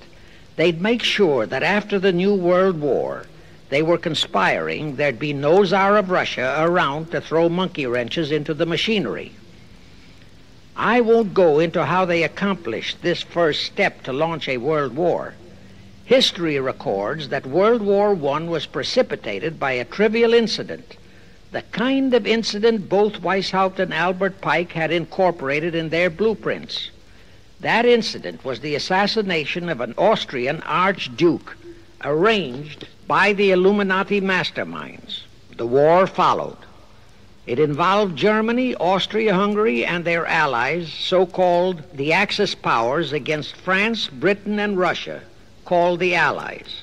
Only the United States was not involved during the first two years. By 1917, the conspirators had achieved their primary objective. All of Europe was in a state of destitution. All the peoples were war weary and crying for peace. And the outcome, too, was all set. It was to come as soon as the United States would be hurled in on the side of the Allies. And that was all set to happen immediately after Wilson's reelection. After that, there could be only one outcome complete victory for the Allies. To fully confirm my statement that long before 1917, the conspiracy headed in America by Jacob Schiff had it all set to hurl the United States into that war, I will cite the proof. When Wilson was campaigning for re-election in 1916, his chief appeal was, re-elect the man who will keep your sons out of the war. But during that same campaign, the Republican Party publicly charged that Wilson had long committed himself to throw us into the war. They charged that if he would be defeated, he would accomplish that act during his few remaining months in office. But if reelected, he would hold off until after reelection. But at that time, the American people looked upon Wilson as a God man. Well, Wilson was reelected, and as per the schedule of the conspirators, he hurled us into the war in 1917. He used the sinking of the Lusitania as an excuse, a sinking which also was prearranged. Roosevelt, also a godman in the eyes of the American people, followed the same technique in 1941 when he used the prearranged Pearl Harbor attack as his excuse for hurling us into World War II. Now, exactly as the conspirators planned, Victory for the Allies would eliminate all the monarchs of the defeated nations and leave all their peoples leaderless, confused, bewildered, and perfectly conditioned for the one world government the great conspiracy intended would follow. But there still would be an obstacle, the same obstacle that had balked the Illuminati and Rothschild at that Congress in Vienna peace gathering after the Napoleonic Wars. Russia would be on the winning side this time, as it was in 1814. Therefore, the Tsar would be securely on his throne. Here it is pertinent to note that Russia, under the Tsarist regime, had been the one country in which the Illuminati had never made any headway, nor had the Rothschilds ever been able to infiltrate their banking interests. Thus, a winning czar would be more difficult than ever to cope with. Even if he could be enticed into a so-called League of Nations, it was a foregone conclusion that he would never, but never go for a one-world government. So even before the outbreak of World War I, the conspirators had a plan in the making to carry out Nathan Rothschild's vow of 1814 to destroy the Tsar and also murder all possible royal heirs to the throne. And it would have to be done before the close of the war, and the Russian Bolsheviki were to be their instruments in this particular plot. From the turn of the century, the chiefs of the Bolsheviki were Nikolai Lenin, Leon Trotsky, and later Joseph Stalin. Of course, those were not their true family names. Prior to the outbreak of the war, Lenin headquartered in Paris. After the outbreak, Switzerland became his haven. Trotsky's headquarters were on the Lower East Side in New York, largely the habitat of Russian Jewish refugees. Both Lenin and Trotsky were similarly bewhiskered and unkempt. In those days, that was the badge of Bolshevism. Both lived well, yet neither had a regular occupation. Neither had any visible means of support, yet both always had plenty of money. All those mysteries were solved in 1917. Right from the outset of the war, strange and mysterious goings on were taking place in New York. Night after night, Trotsky darted furtively in and out of Jacob Schiff's palatial mansion. And in the dead of those same nights, there were gatherings of hoodlums of New York's Lower East Side, all of them Russian refugees, at Trotsky's headquarters, and all were going through some mysterious sort of training process but it was all shrouded in mystery. Nobody talked, although it did leak out that Schiff was financing all of Trotsky's activities. Then suddenly Trotsky vanished. So did approximately 300 of his trained hoodlums. Actually, they were on the high seas in a Schiff chartered ship bound for a rendezvous with Lenin and his gang in Switzerland and on that ship was $20 million in gold. The $20 million Schiff provided to finance the Bolsheviki takeover of Russia. In anticipation of Trotsky's arrival, Lenin prepared to throw a party in his Switzerland hideaway. Men of the very highest places in the world were to be guests at that party. Among them were the mysterious Colonel Edward Mandel House, Woodrow Wilson's mentor and palsy walsy, and more important, Schiff's special and confidential messenger. Another of the expectant guests was Warburg of the Warburg banking clan in Germany, who were financing the Kaiser, and whom the Kaiser had rewarded by making him chief of the secret police of Germany. In addition, there were the Rothschilds of London and Paris, also Litvinov, Kaganovich, Stalin, who was then head of a train and bank robbing gang of bandits. He was known as the Jesse James of the Urals. And here I must remind that England and France were then long in war with Germany, and that on February 3, 1917, Wilson had broken off all diplomatic relations with Germany. Therefore, Warburg, Colonel House, the Rothschild, and all those others were enemies. But of course, Switzerland was neutral ground where enemies could meet and be friends, especially if they had some scheme in common. That Lenin party was very nearly wrecked by an unforeseen incident. The Schiff chartered ship on its way to Switzerland was intercepted and taken into custody by a British warship. But Schiff quickly rushed orders to Wilson to order the British to release the ship intact with the Trotsky hoodlums and the gold. Wilson obeyed. He warned the British that if they refused to release the ship, the United States would not enter the war in April as he had faithfully promised a year earlier. The British heeded the warning. Trotsky arrived in Switzerland, and the Lenin Party went off as scheduled. But they still faced what ordinarily would have been the insurmountable obstacle of getting the Lenin Trotsky band of terrorists across the border into Russia. Well, that's where Brother Warburg, chief of the German secret police, came in. He loaded all those thugs into sealed freight cars and made all the necessary arrangement for their secret entry into Russia. The rest is history. The revolution in Russia took place, and all members of the royal Romanov family were murdered. Now, my chief objective is to establish beyond even a remote doubt that communism, so called, is an integral part of the Illuminati's great conspiracy for the enslavement of the entire world. That communism, so called, is merely their weapon and bogeyman word to terrify the peoples of the whole world, and that the conquest of Russia and the creation of communism was in great part organized by Schiff and the other international bankers right in our own city of New York. A fantastic story? Yes. Some might even refuse to believe it. Well, for the benefit of any doubting Thomas, I will prove it by reminding that just a few years ago, Charlie Knickerbocker, a Hearst newspaper columnist, published an interview with John Schiff, grandson of Jacob, in which young Schiff confirmed the entire story and named the figure old Jacob contributed, $20 million. If anybody still has even a remote doubt that the entire menace of communism was created by the masterminds of the great conspiracy right in our own city of New York, I will cite the following historical fact. All records show that when Lenin and Trotsky engineered the capture of Russia, they operated as heads of the Bolsheviki Party. Now, Bolshevism is a purely Russian word. The masterminds realized that Bolshevism could never be sold as an ideology to any but the Russian people.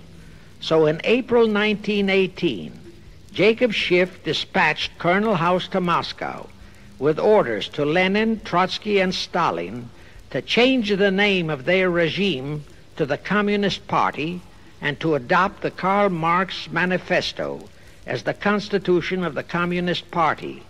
Lenin, Trotsky, and Stalin obeyed.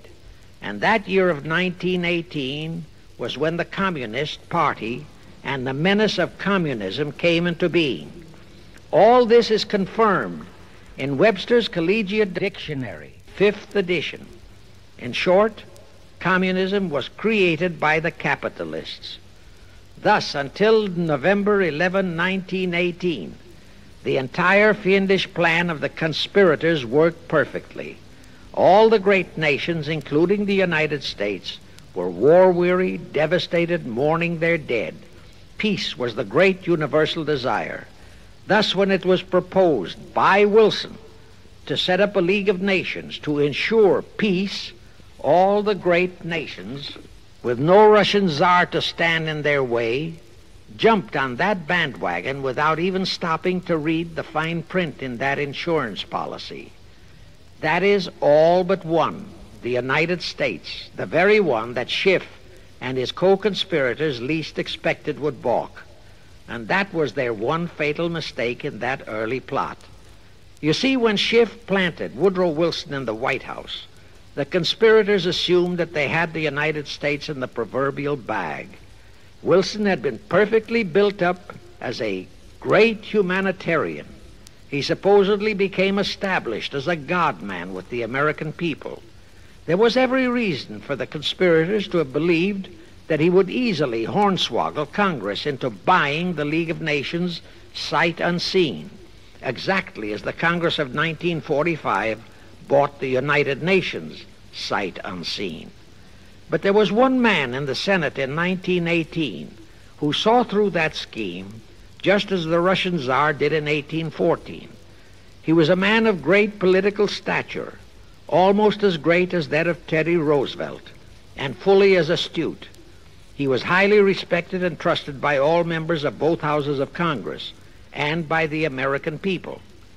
The name of that great and patriotic American was Henry Cabot Lodge, not the phony of today who called himself Henry Cabot Lodge Jr. until he was exposed. Lodge completely unmasked Wilson and kept the United States out of the League of Nations. Here it becomes of great interest to know the real reason for the Wilson League of Nations flop. As I previously stated, Schiff was sent to the United States to carry out four specific assignments. Number one and most important was to acquire complete control of the U.S. money system. Number two, as outlined in the original Weishaupt Illuminati blueprint, he was to find the right kind of men to serve as stooges for the great conspiracy and promote them into the highest offices in our federal government, our Congress, our U.S. Supreme Court, and all federal agencies, such as the State Department, the Pentagon, the Treasury Department, etc. Number three, destroy the unity of the American people by creating minority group strife throughout the nation, especially between the whites and blacks as outlined in Israel Cohen's book. Number four, create a movement to destroy religion in the United States with Christianity to be the chief target or victim. In addition, he was strongly reminded of the imperative directive in the Illuminati blueprint to achieve full control of all mass communications media, to be used to brainwash the people into believing and accepting all of the maneuverings of the great conspiracy. Schiff was warned that only control of the press, at that time our only mass communications media, would enable him to destroy the unity of the American people.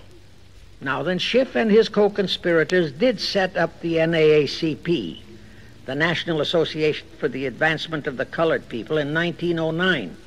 And in 1913, he set up the Anti-Defamation League of the B'nai B'rith. Both were to create the necessary strife.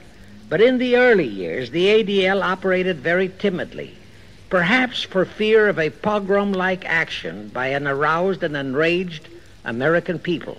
And the NAACP was practically dormant because its white leadership didn't realize that they would have to develop firebrand Negro leaders, such as Martin Lucifer King, for one, to spark the then completely satisfied and contented mass of Negroes.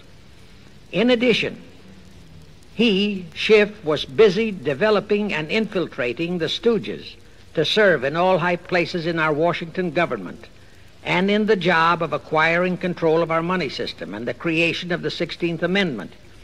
He also was very busy with the organizing of the plot for the takeover of Russia. In short, he was kept so busy with all those jobs that he completely overlooked the supreme job of acquiring complete control of our mass communications media That oversight was the direct cause for Wilson's failure to lure the United States into the League of Nations, because when Wilson decided to go to the people to overcome the opposition of the Lodge controlled Senate, despite his established but phony reputation as a great humanitarian, he found himself faced by a solidly united people and by a loyal press whose only ideology was Americanism and the American way of life. At that time, due to the ineptness and ineffectiveness of both the ADL and the NAACP, there were no organized minority groups, no Negro problems, no so called anti Semitic problem to sway the people's thinking. There were no lefts, there were no rights, no prejudices for crafty exploitations. Thus, Wilson's League of Nations appeals fell on deaf ears. That was the end of Woodrow Wilson, the conspirator's great humanitarian. He quickly abandoned his crusade and returned to Washington, where he shortly died an imbecile brought on by syphilis. And that was the end of the League of Nations as a corridor into one world government. Of course, that debacle was a terrible disappointment to the masterminds of the Illuminati conspiracy. But they were not discouraged. As I have previously stressed, this enemy never quits. They simply decided to reorganize and try from scratch again. By this time, Schiff was very old and slow. He knew it. He knew that the conspiracy needed a new, younger, and more active generalship.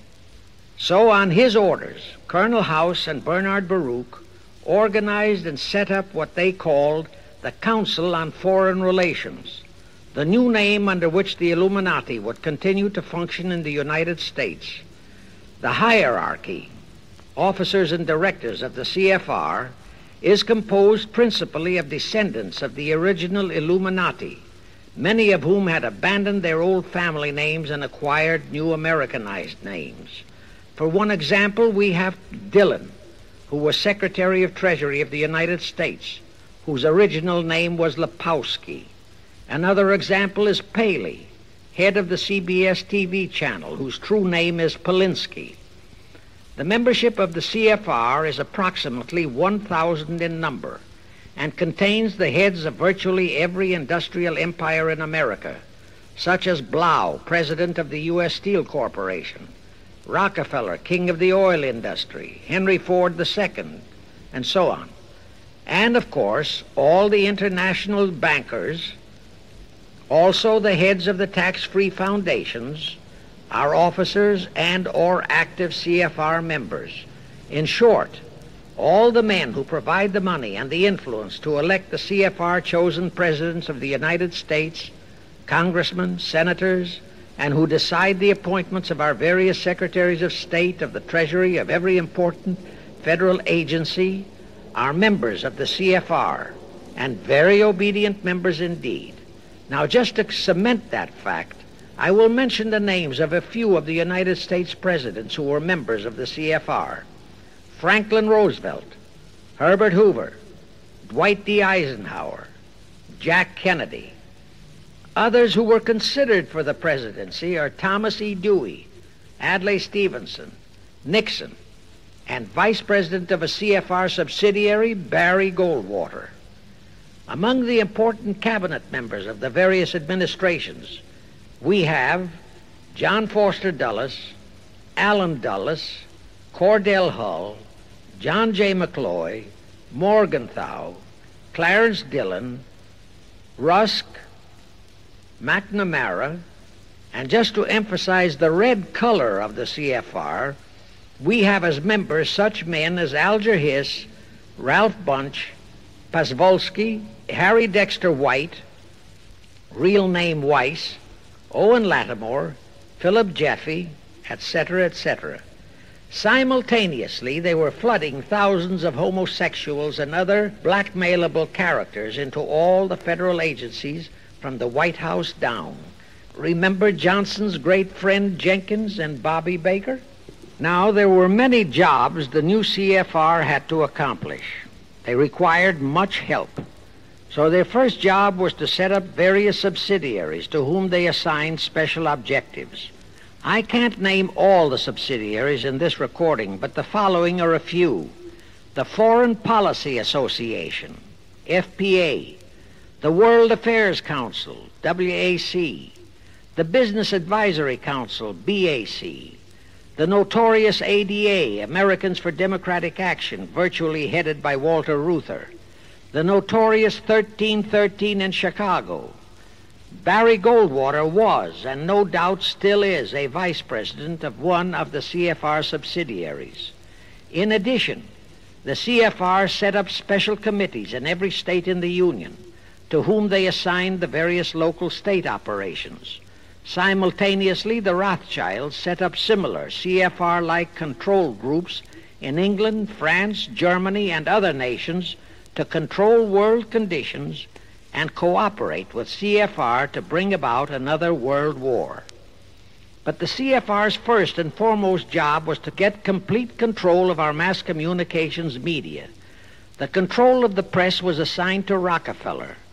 Thus, Henry Luce, who recently died, was financed to set up a number of national magazines, among them Life, Time, Fortune, and others which publish USSR in America.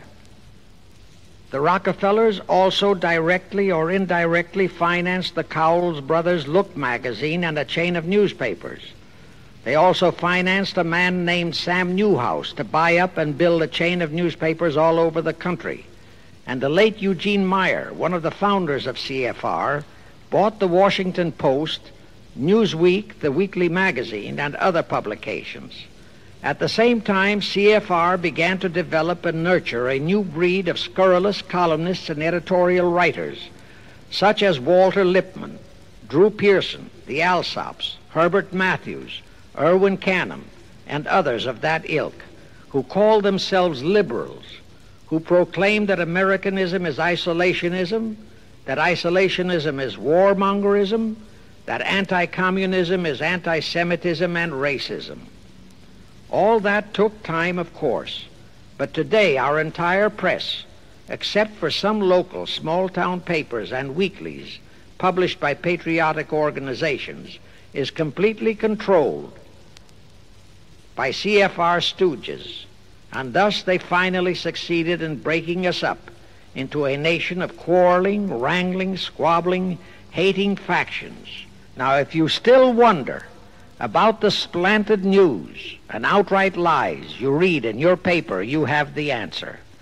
To the Lehmans, Goldman Sachs, Kuhn Loeb, and the Warburgs, the CFR assigned the job of getting control of the motion picture industry, Hollywood, radio and television, and believe you me, they succeeded.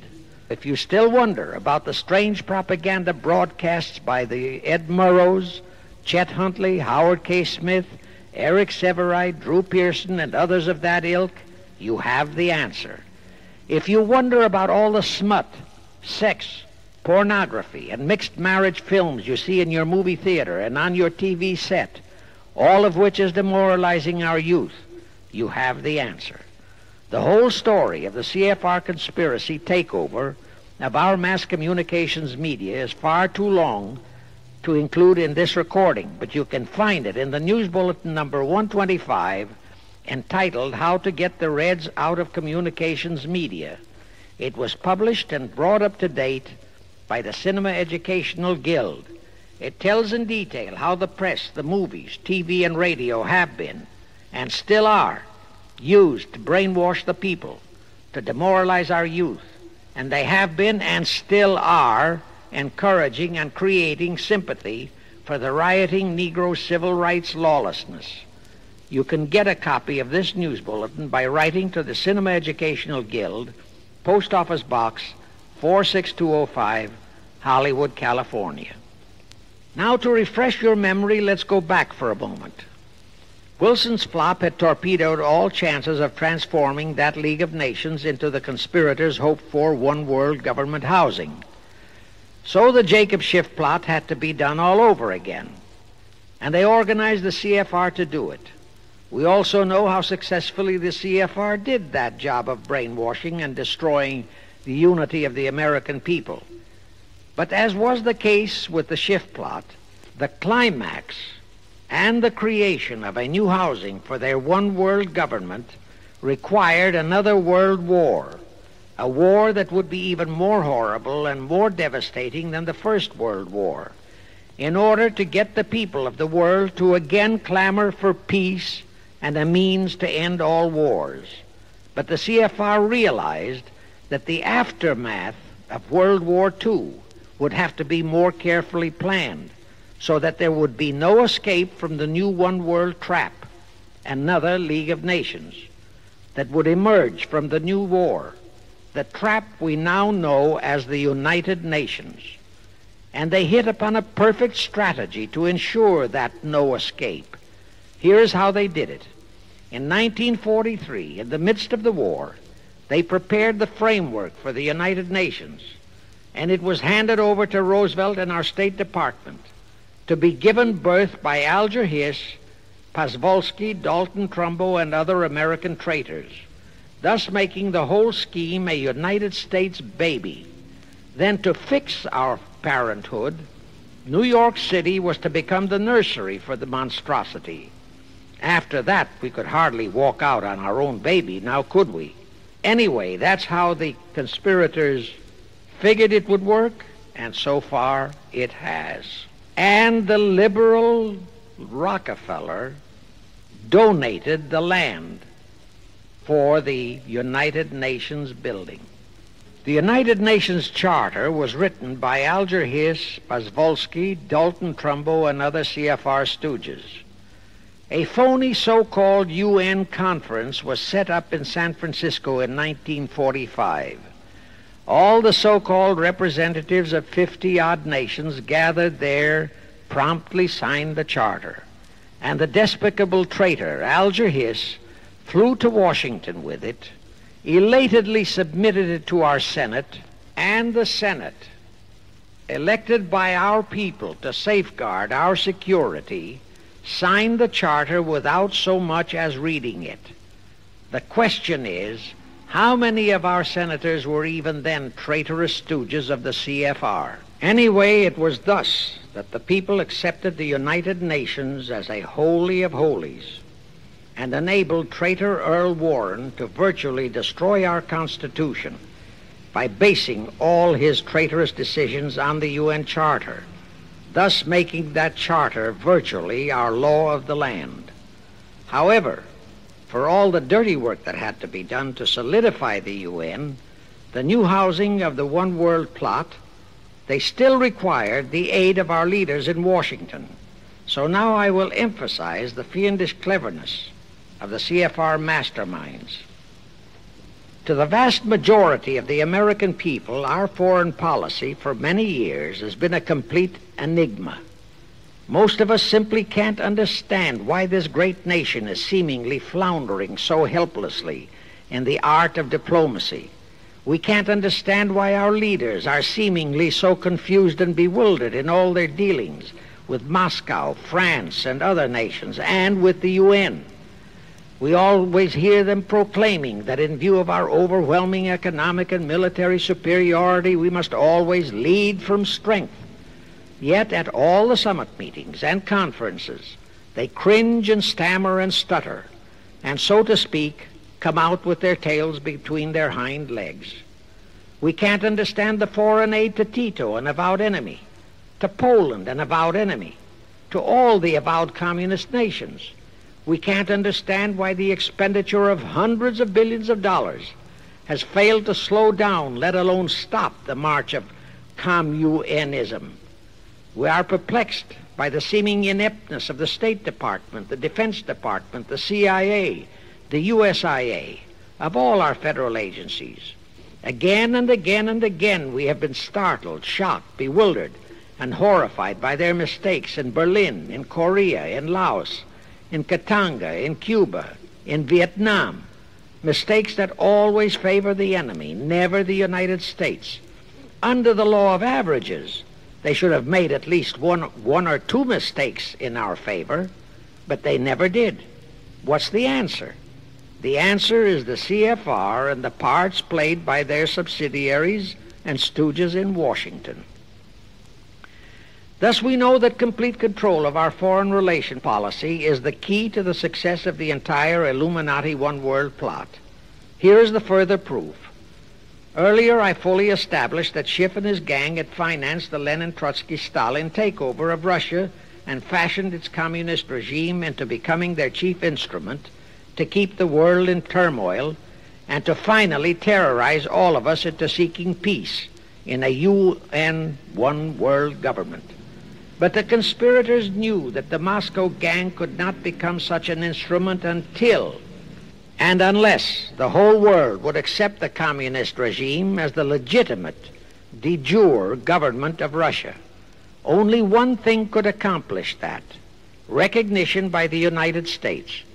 The conspirators figured that the whole world would follow our lead, and that's when the Wilson flop very nearly wrecked the entire plot.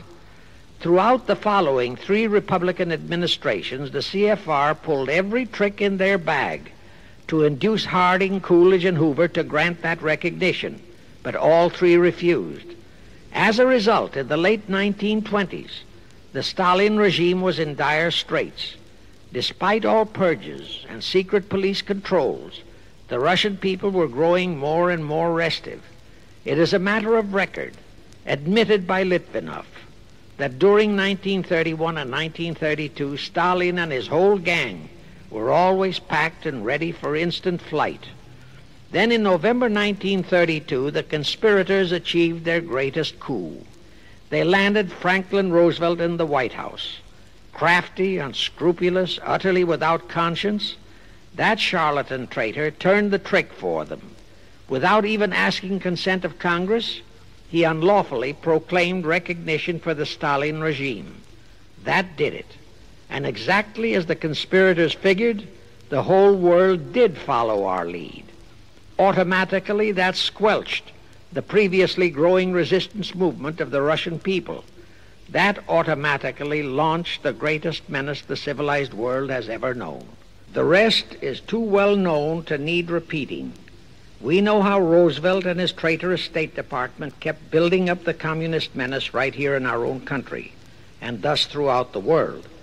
We know how he perpetrated that Pearl Harbor atrocity for his excuse to hurl us into World War II. We know all about his secret meetings with Stalin at Yalta and how he, with Eisenhower's help, delivered the Balkans and Berlin to Moscow.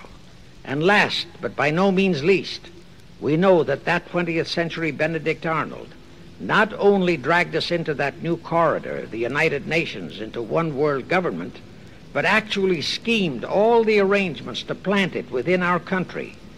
In short, the day that Roosevelt entered the White House, the CFR conspirators regained full control of our foreign relations machinery and firmly established the United Nations as the housing for the Illuminati one world government. I wish to stress one other very vital point. That Wilson League of Nations flop brought Schiff and his gang to the realization that control of just the Democratic Party was not enough. True, they could create a crisis during the Republican administration, as they did in 1929 with their Federal Reserve manufactured crash and depression, which would bring another Democrat stooge back into the White House. But they realized that a four-year disruption in their control of our foreign relation policies could play havoc with the progress of their conspiracy. It could even break up their entire strategy, as it almost did before Roosevelt saved it with his recognition of the Stalin regime. Thereupon, after that Wilson debacle, they began to formulate plans to achieve control of both of our national parties. But that posed a problem for them manpower, stooges in the Republican Party, also added manpower for the Democratic Party, because control of just the man in the White House would not be enough. They'd have to provide that man with trained stooges for his entire cabinet, men to head the State Department, the Treasury Department, the Pentagon, the CIA, the USIA, etc. In short, every member of the various cabinets would have to be a chosen tool of the CFR such as Rusk and McNamara, also all undersecretaries and assistant secretaries. That would give the conspirators absolute control of all our policies, both domestic and, most important, foreign. That course of action would require a reserve pool of trained stooges, instantaneously ready for administrative changes and for all other exigencies. All such stooges would of necessity have to be men of national reputation, high in the esteem of the people, but they would have to be men without honor, without scruple, without conscience, men who would be vulnerable to blackmail. It is needless for me to stress how well the CFR succeeded. The immortal Joe McCarthy fully revealed that there are thousands of such security risks in all federal agencies. Scott McLeod unmasked thousands more. And you know the price Otepka has had to pay and is still paying for his expositions before a Senate committee of the traitors in the State Department. And you know that the men in the State Department who delivered Cuba to Castro have not only been shielded, but promoted. To the crux of the whole one world government plot and the maneuvering necessary to create another League of Nations to house such a government. As I have already stated, the conspirators knew that only another world war was vital for the success of their plot. It would have to be such a horrifying world war that the peoples of the world would cry out for the creation of some kind of a world organization that could assure everlasting peace. But how could such a war be brought about? All the European nations were at peace. None had any quarrels with their neighboring nations. And certainly their tools in Moscow wouldn't dare to start a war. Even Stalin realized that it would mean the overthrow of his regime unless so-called patriotism would weld the Russian people behind him. But the conspirators had to have a war. They had to find or create some kind of an incident to launch it. And they found it in a little inconspicuous and repulsive little man who called himself Adolf Hitler. Hitler, an impecunious Austrian house painter, had been a corporal in the German army. He made the defeat of Germany into a personal grievance. He began to rabble rouse about it in the Munich, Germany area. He began to spout about restoring the greatness of the German Empire and the might of the German soldiery. He advocated the restoration of the old German military to be used to conquer the whole world. Strangely enough, Hitler, the little clown that he was, could deliver a rabble rousing speech and he did have a certain kind of magnetism. But the new authorities in Germany didn't want any more wars, and they promptly threw the obnoxious Austrian house painter into a prison cell. Aha! Here was the man, decided the conspirators, who, properly directed and financed, could be the key to another world war. So while he was in prison, they had Rudolf Hess and Goering write a book which they titled Mein Kampf and attributed the authorship to Hitler, exactly as Litvinov wrote Mission to Moscow and attributed the authorship to Joseph Davies, then our ambassador to Russia and a stooge of the CFR. In Mein Kampf, Hitler, the pseudo author, outlined his grievances and how he would restore the German people to their former greatness. The conspirators then arranged for a wide circulation of the book among the German people in order to arouse a fanatical following for him. On his release from prison, also arranged by the conspirators, they began to groom him and finance him to travel to other parts of Germany to deliver his rabble rousing speeches. Soon he gathered a growing following among other veterans of the war, and that soon spread to the masses who began to see in him a savior for their beloved Germany. Then came his leadership of what he called his brown shirt army and the march on Berlin. That required a great deal of financing, but the Rothschilds, the Warburgs, and others of the conspirators provided all the money he needed. Gradually, Hitler became the idol of the German people, and then they overthrew the von Hindenburg government and Hitler became the new Fuhrer. But that still was no reason for a war. The rest of the world watched Hitler's rise, but saw no reason to interfere in what was distinctly a domestic condition within Germany. Certainly none of the other nations felt it was a reason for another war against Germany, and the German people were not yet incited into enough of a frenzy to commit any acts against any neighboring nation, not even against France, that would lead to a war. The conspirators realized they would have to create such a frenzy. A frenzy that would cause the German people to throw caution to the winds and at the same time horrify the whole world. And incidentally, Mein Kampf was actually a follow up of Karl Marx's book, A World Without Jews. The conspirators suddenly remembered how the Schiff Rothschild gang had engineered the pogroms in Russia, which slaughtered many, many thousands of Jews and created a worldwide hatred for Russia. And they decided to use that same unconscionable trick to inflame the new Hitler led German people into a murderous hatred of the Jews. Now, it is true that the German people never had any particular affection for the Jews but neither did they have an ingrained hatred for them. Such a hatred would have to be manufactured. So Hitler was used to create it. This idea more than appealed to Hitler. He saw in it the grisly gimmick to make him the godman of the German people. Thus, craftily inspired and coached by his financial advisers, the Warburgs, Rothschilds, and all the Illuminati masterminds, he blamed the Jews for the hated Versailles Treaty and for the financial ruination that followed the war. The rest is history.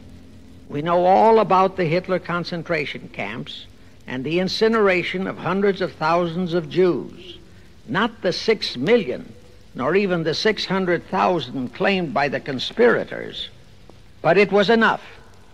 And here let me reiterate how little the internationalist bankers the Rothschilds, Schiffs, Lehmans, Warburgs, Baruchs, care about their racial brethren who were the victims of their nefarious schemes. In their eyes, the slaughter of the several hundred thousand innocent Jews by Hitler didn't bother them at all. They considered it a necessary sacrifice to further their Illuminati one world plot. Just as the slaughter of the many millions in the wars that followed was a similar necessary sacrifice. And here is another grisly detail about those concentration camps. Many of the Hitler soldier executioners in those camps had previously been sent to Russia to acquire their arts of torture and brutalization so as to emphasize the horrors of the atrocities. All this created a new worldwide hatred for the German people, but it still did not provide a cause for war. Thereupon, Hitler was incited to demand the Sudetenland.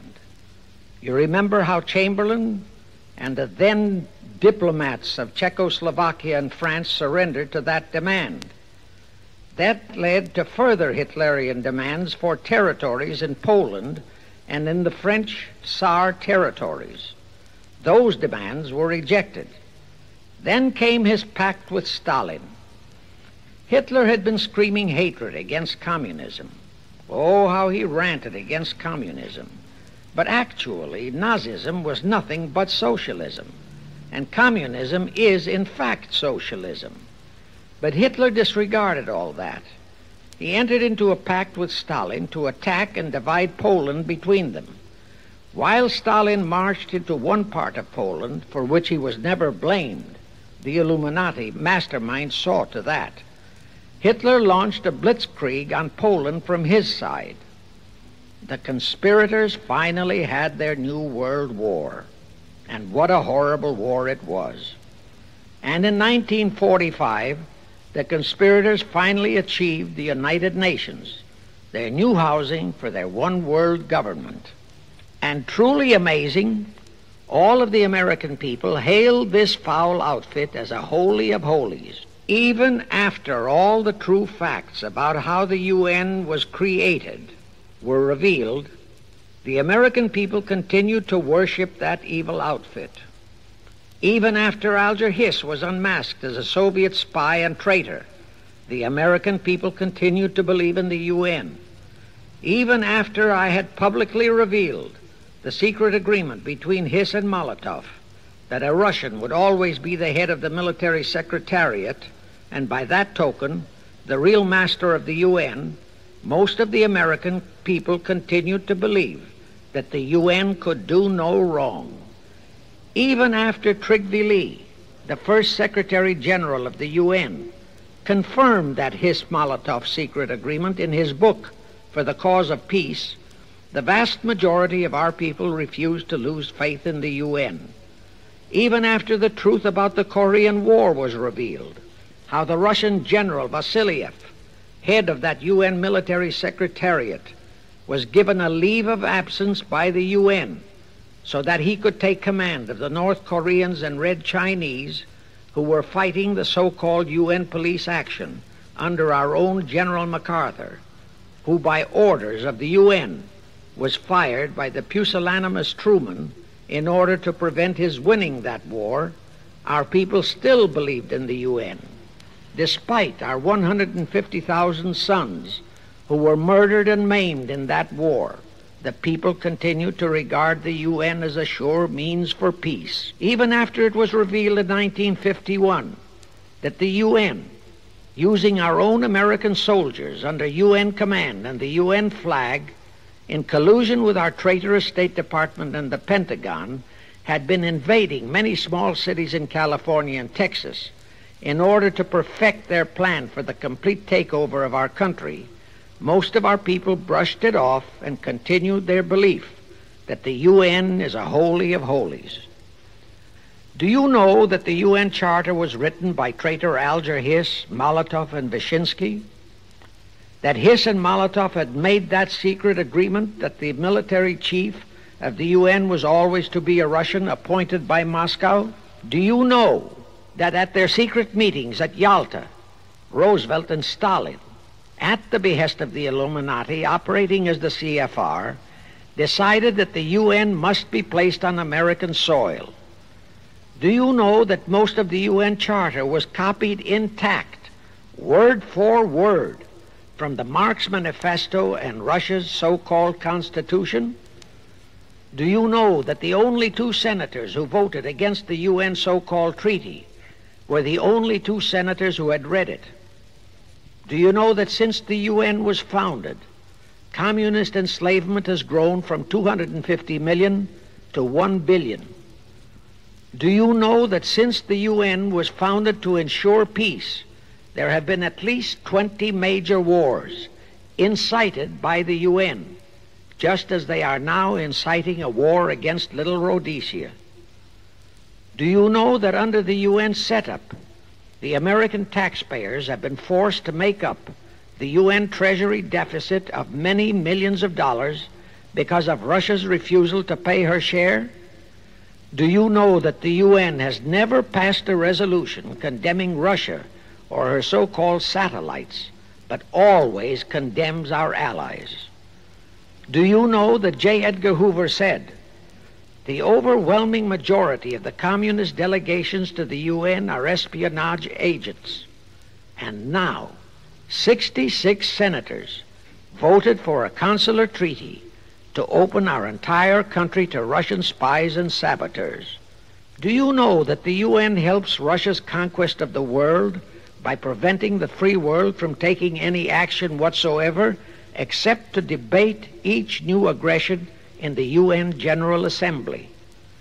Do you know that at the time of the Korean War, there were 60 nations in the UN, yet 95% of the UN forces were our American sons, and practically 100% of the cost was paid by the United States taxpayers. And surely you know that the UN policy during the Korean War was to prevent us from winning that war. Do you know that all the battle plans of General MacArthur had to go first to the UN to be relayed to Vasiliev, commander of the North Koreans and Red Chinese, and that any future wars fought by our sons under the UN flag would have to be fought under the control of the UN Security Council. Do you know that the UN has never done anything about the 80,000 Russian Mongolian troops that occupy Hungary? Where was the UN when the Hungarian freedom fighters were slaughtered by the Russians? Do you know that the UN and its peace army turned the Congo over to the communists? Do you know that the UN's own so called peace force was used to crush, rape, and kill the white anti communists in Katanga? Do you know that the UN stood by and did nothing while Red China invaded Laos and Vietnam? that it did nothing while Nehru invaded Goa and other Portuguese territories. Do you know that the UN was directly responsible for aiding Castro? That it does absolutely nothing about the many thousands of Cuban youngsters who are shipped to Russia for communist indoctrination? Do you know that Adlai Stevenson, of all people, said the free world must expect to lose more and more decisions in the UN. Do you know that the UN openly proclaims that its chief objective is one world government, which means one world laws, one world court, one world army, one world navy, one world air force, one world schools, and a one world church in which Christianity would be prohibited? Do you know that a UN law has been passed to disarm all American citizens and to transfer all our armed forces to the UN? Such a law was secretly signed by Saint Jack Kennedy in 1961. Do you realize how that fits in with Article 47, paragraph 3 of the UN Charter, which states, I quote, the Military Staff Committee of the UN shall be responsible through the Security Council for the strategic direction of all armed forces placed at the disposal of the Security Council. Unquote. And when and if all our armed forces are transferred to the UN, your sons would be forced to serve and die under UN command all over the world. This will happen unless you fight to get the U.S. out of the UN. Do you know that Congressman James B. Utt has submitted a bill to get the U.S. out of the UN and a resolution to prevent our president from forcing us to support the UN embargoes on Rhodesia? Well, he has. And many people all over the country are writing to their representatives to support the Utt bill and resolution. And did you know that to offset the Utt bill and resolution, 50 congressmen, spearheaded by Schweiker and Moorhead of Pennsylvania, have introduced a bill to immediately transfer all our armed forces to the UN. Can you imagine such brazen treason? Is your congressman one of those 50 traitors? Find out and take immediate action against him and help Congressman Utt. Now, do you know that the National Council of Churches passed a resolution in San Francisco which states that the United States will soon have to subordinate its will to that of the UN and that all American citizens must be prepared to accept it? Is your church a member of the National Council of Churches? In connection with that, bear in mind that God is never mentioned in the UN Charter and their meetings are never opened with prayer. The creators of the UN stipulated in advance that there should be no mention of God or Jesus Christ in the UN Charter or in its UN headquarters. Does your pastor subscribe to that? Find out. Furthermore, do you know that the great majority of the so called nations in the UN are anti Christianity? That the UN is a completely godless organization by orders of its creators, the CFR Illuminati. Now, Have you heard enough of the truth about the Illuminati's United Nations? Do you want to leave your sons and our precious country to the unholy mercy of the Illuminati's United Nations? If you don't, write, telegraph, or phone your representatives and senators that they must support Congressman Utt's bill to get the U.S. out of the UN and the UN out of the U.S. Do it today now before you forget. It is the only salvation for your sons and for our country. Now I have one more vital message to deliver. As I told you, one of the four specific assignments Rothschild gave Jacob Schiff was to create a movement to destroy religion in the United States, with Christianity to be the chief target. For a very obvious reason.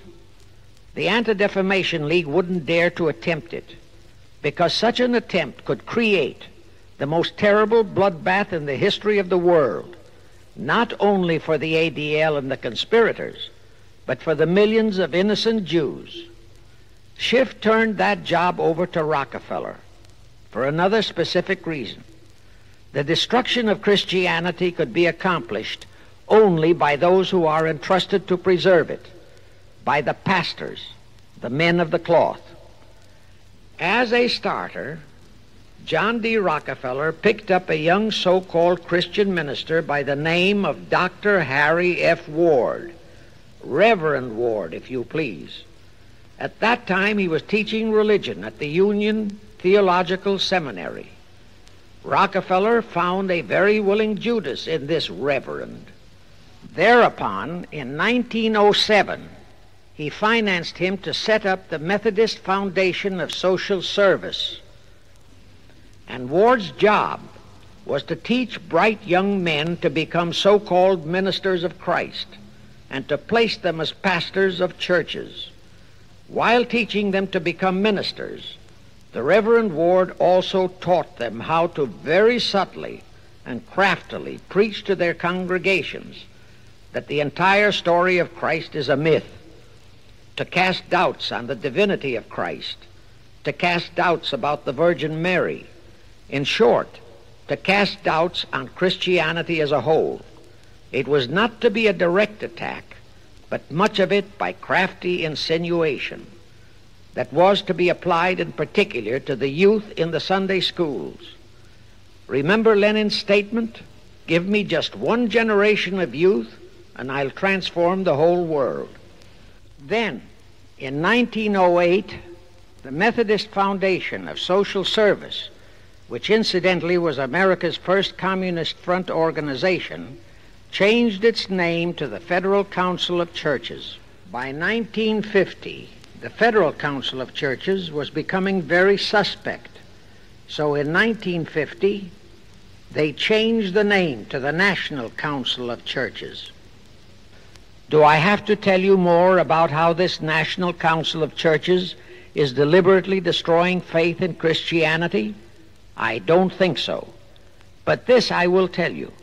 If you are a member of any congregation whose pastor and church are members of this Judas organization, you, your contributions, are helping the Illuminati's plot to destroy religion and your faith in God and Jesus Christ.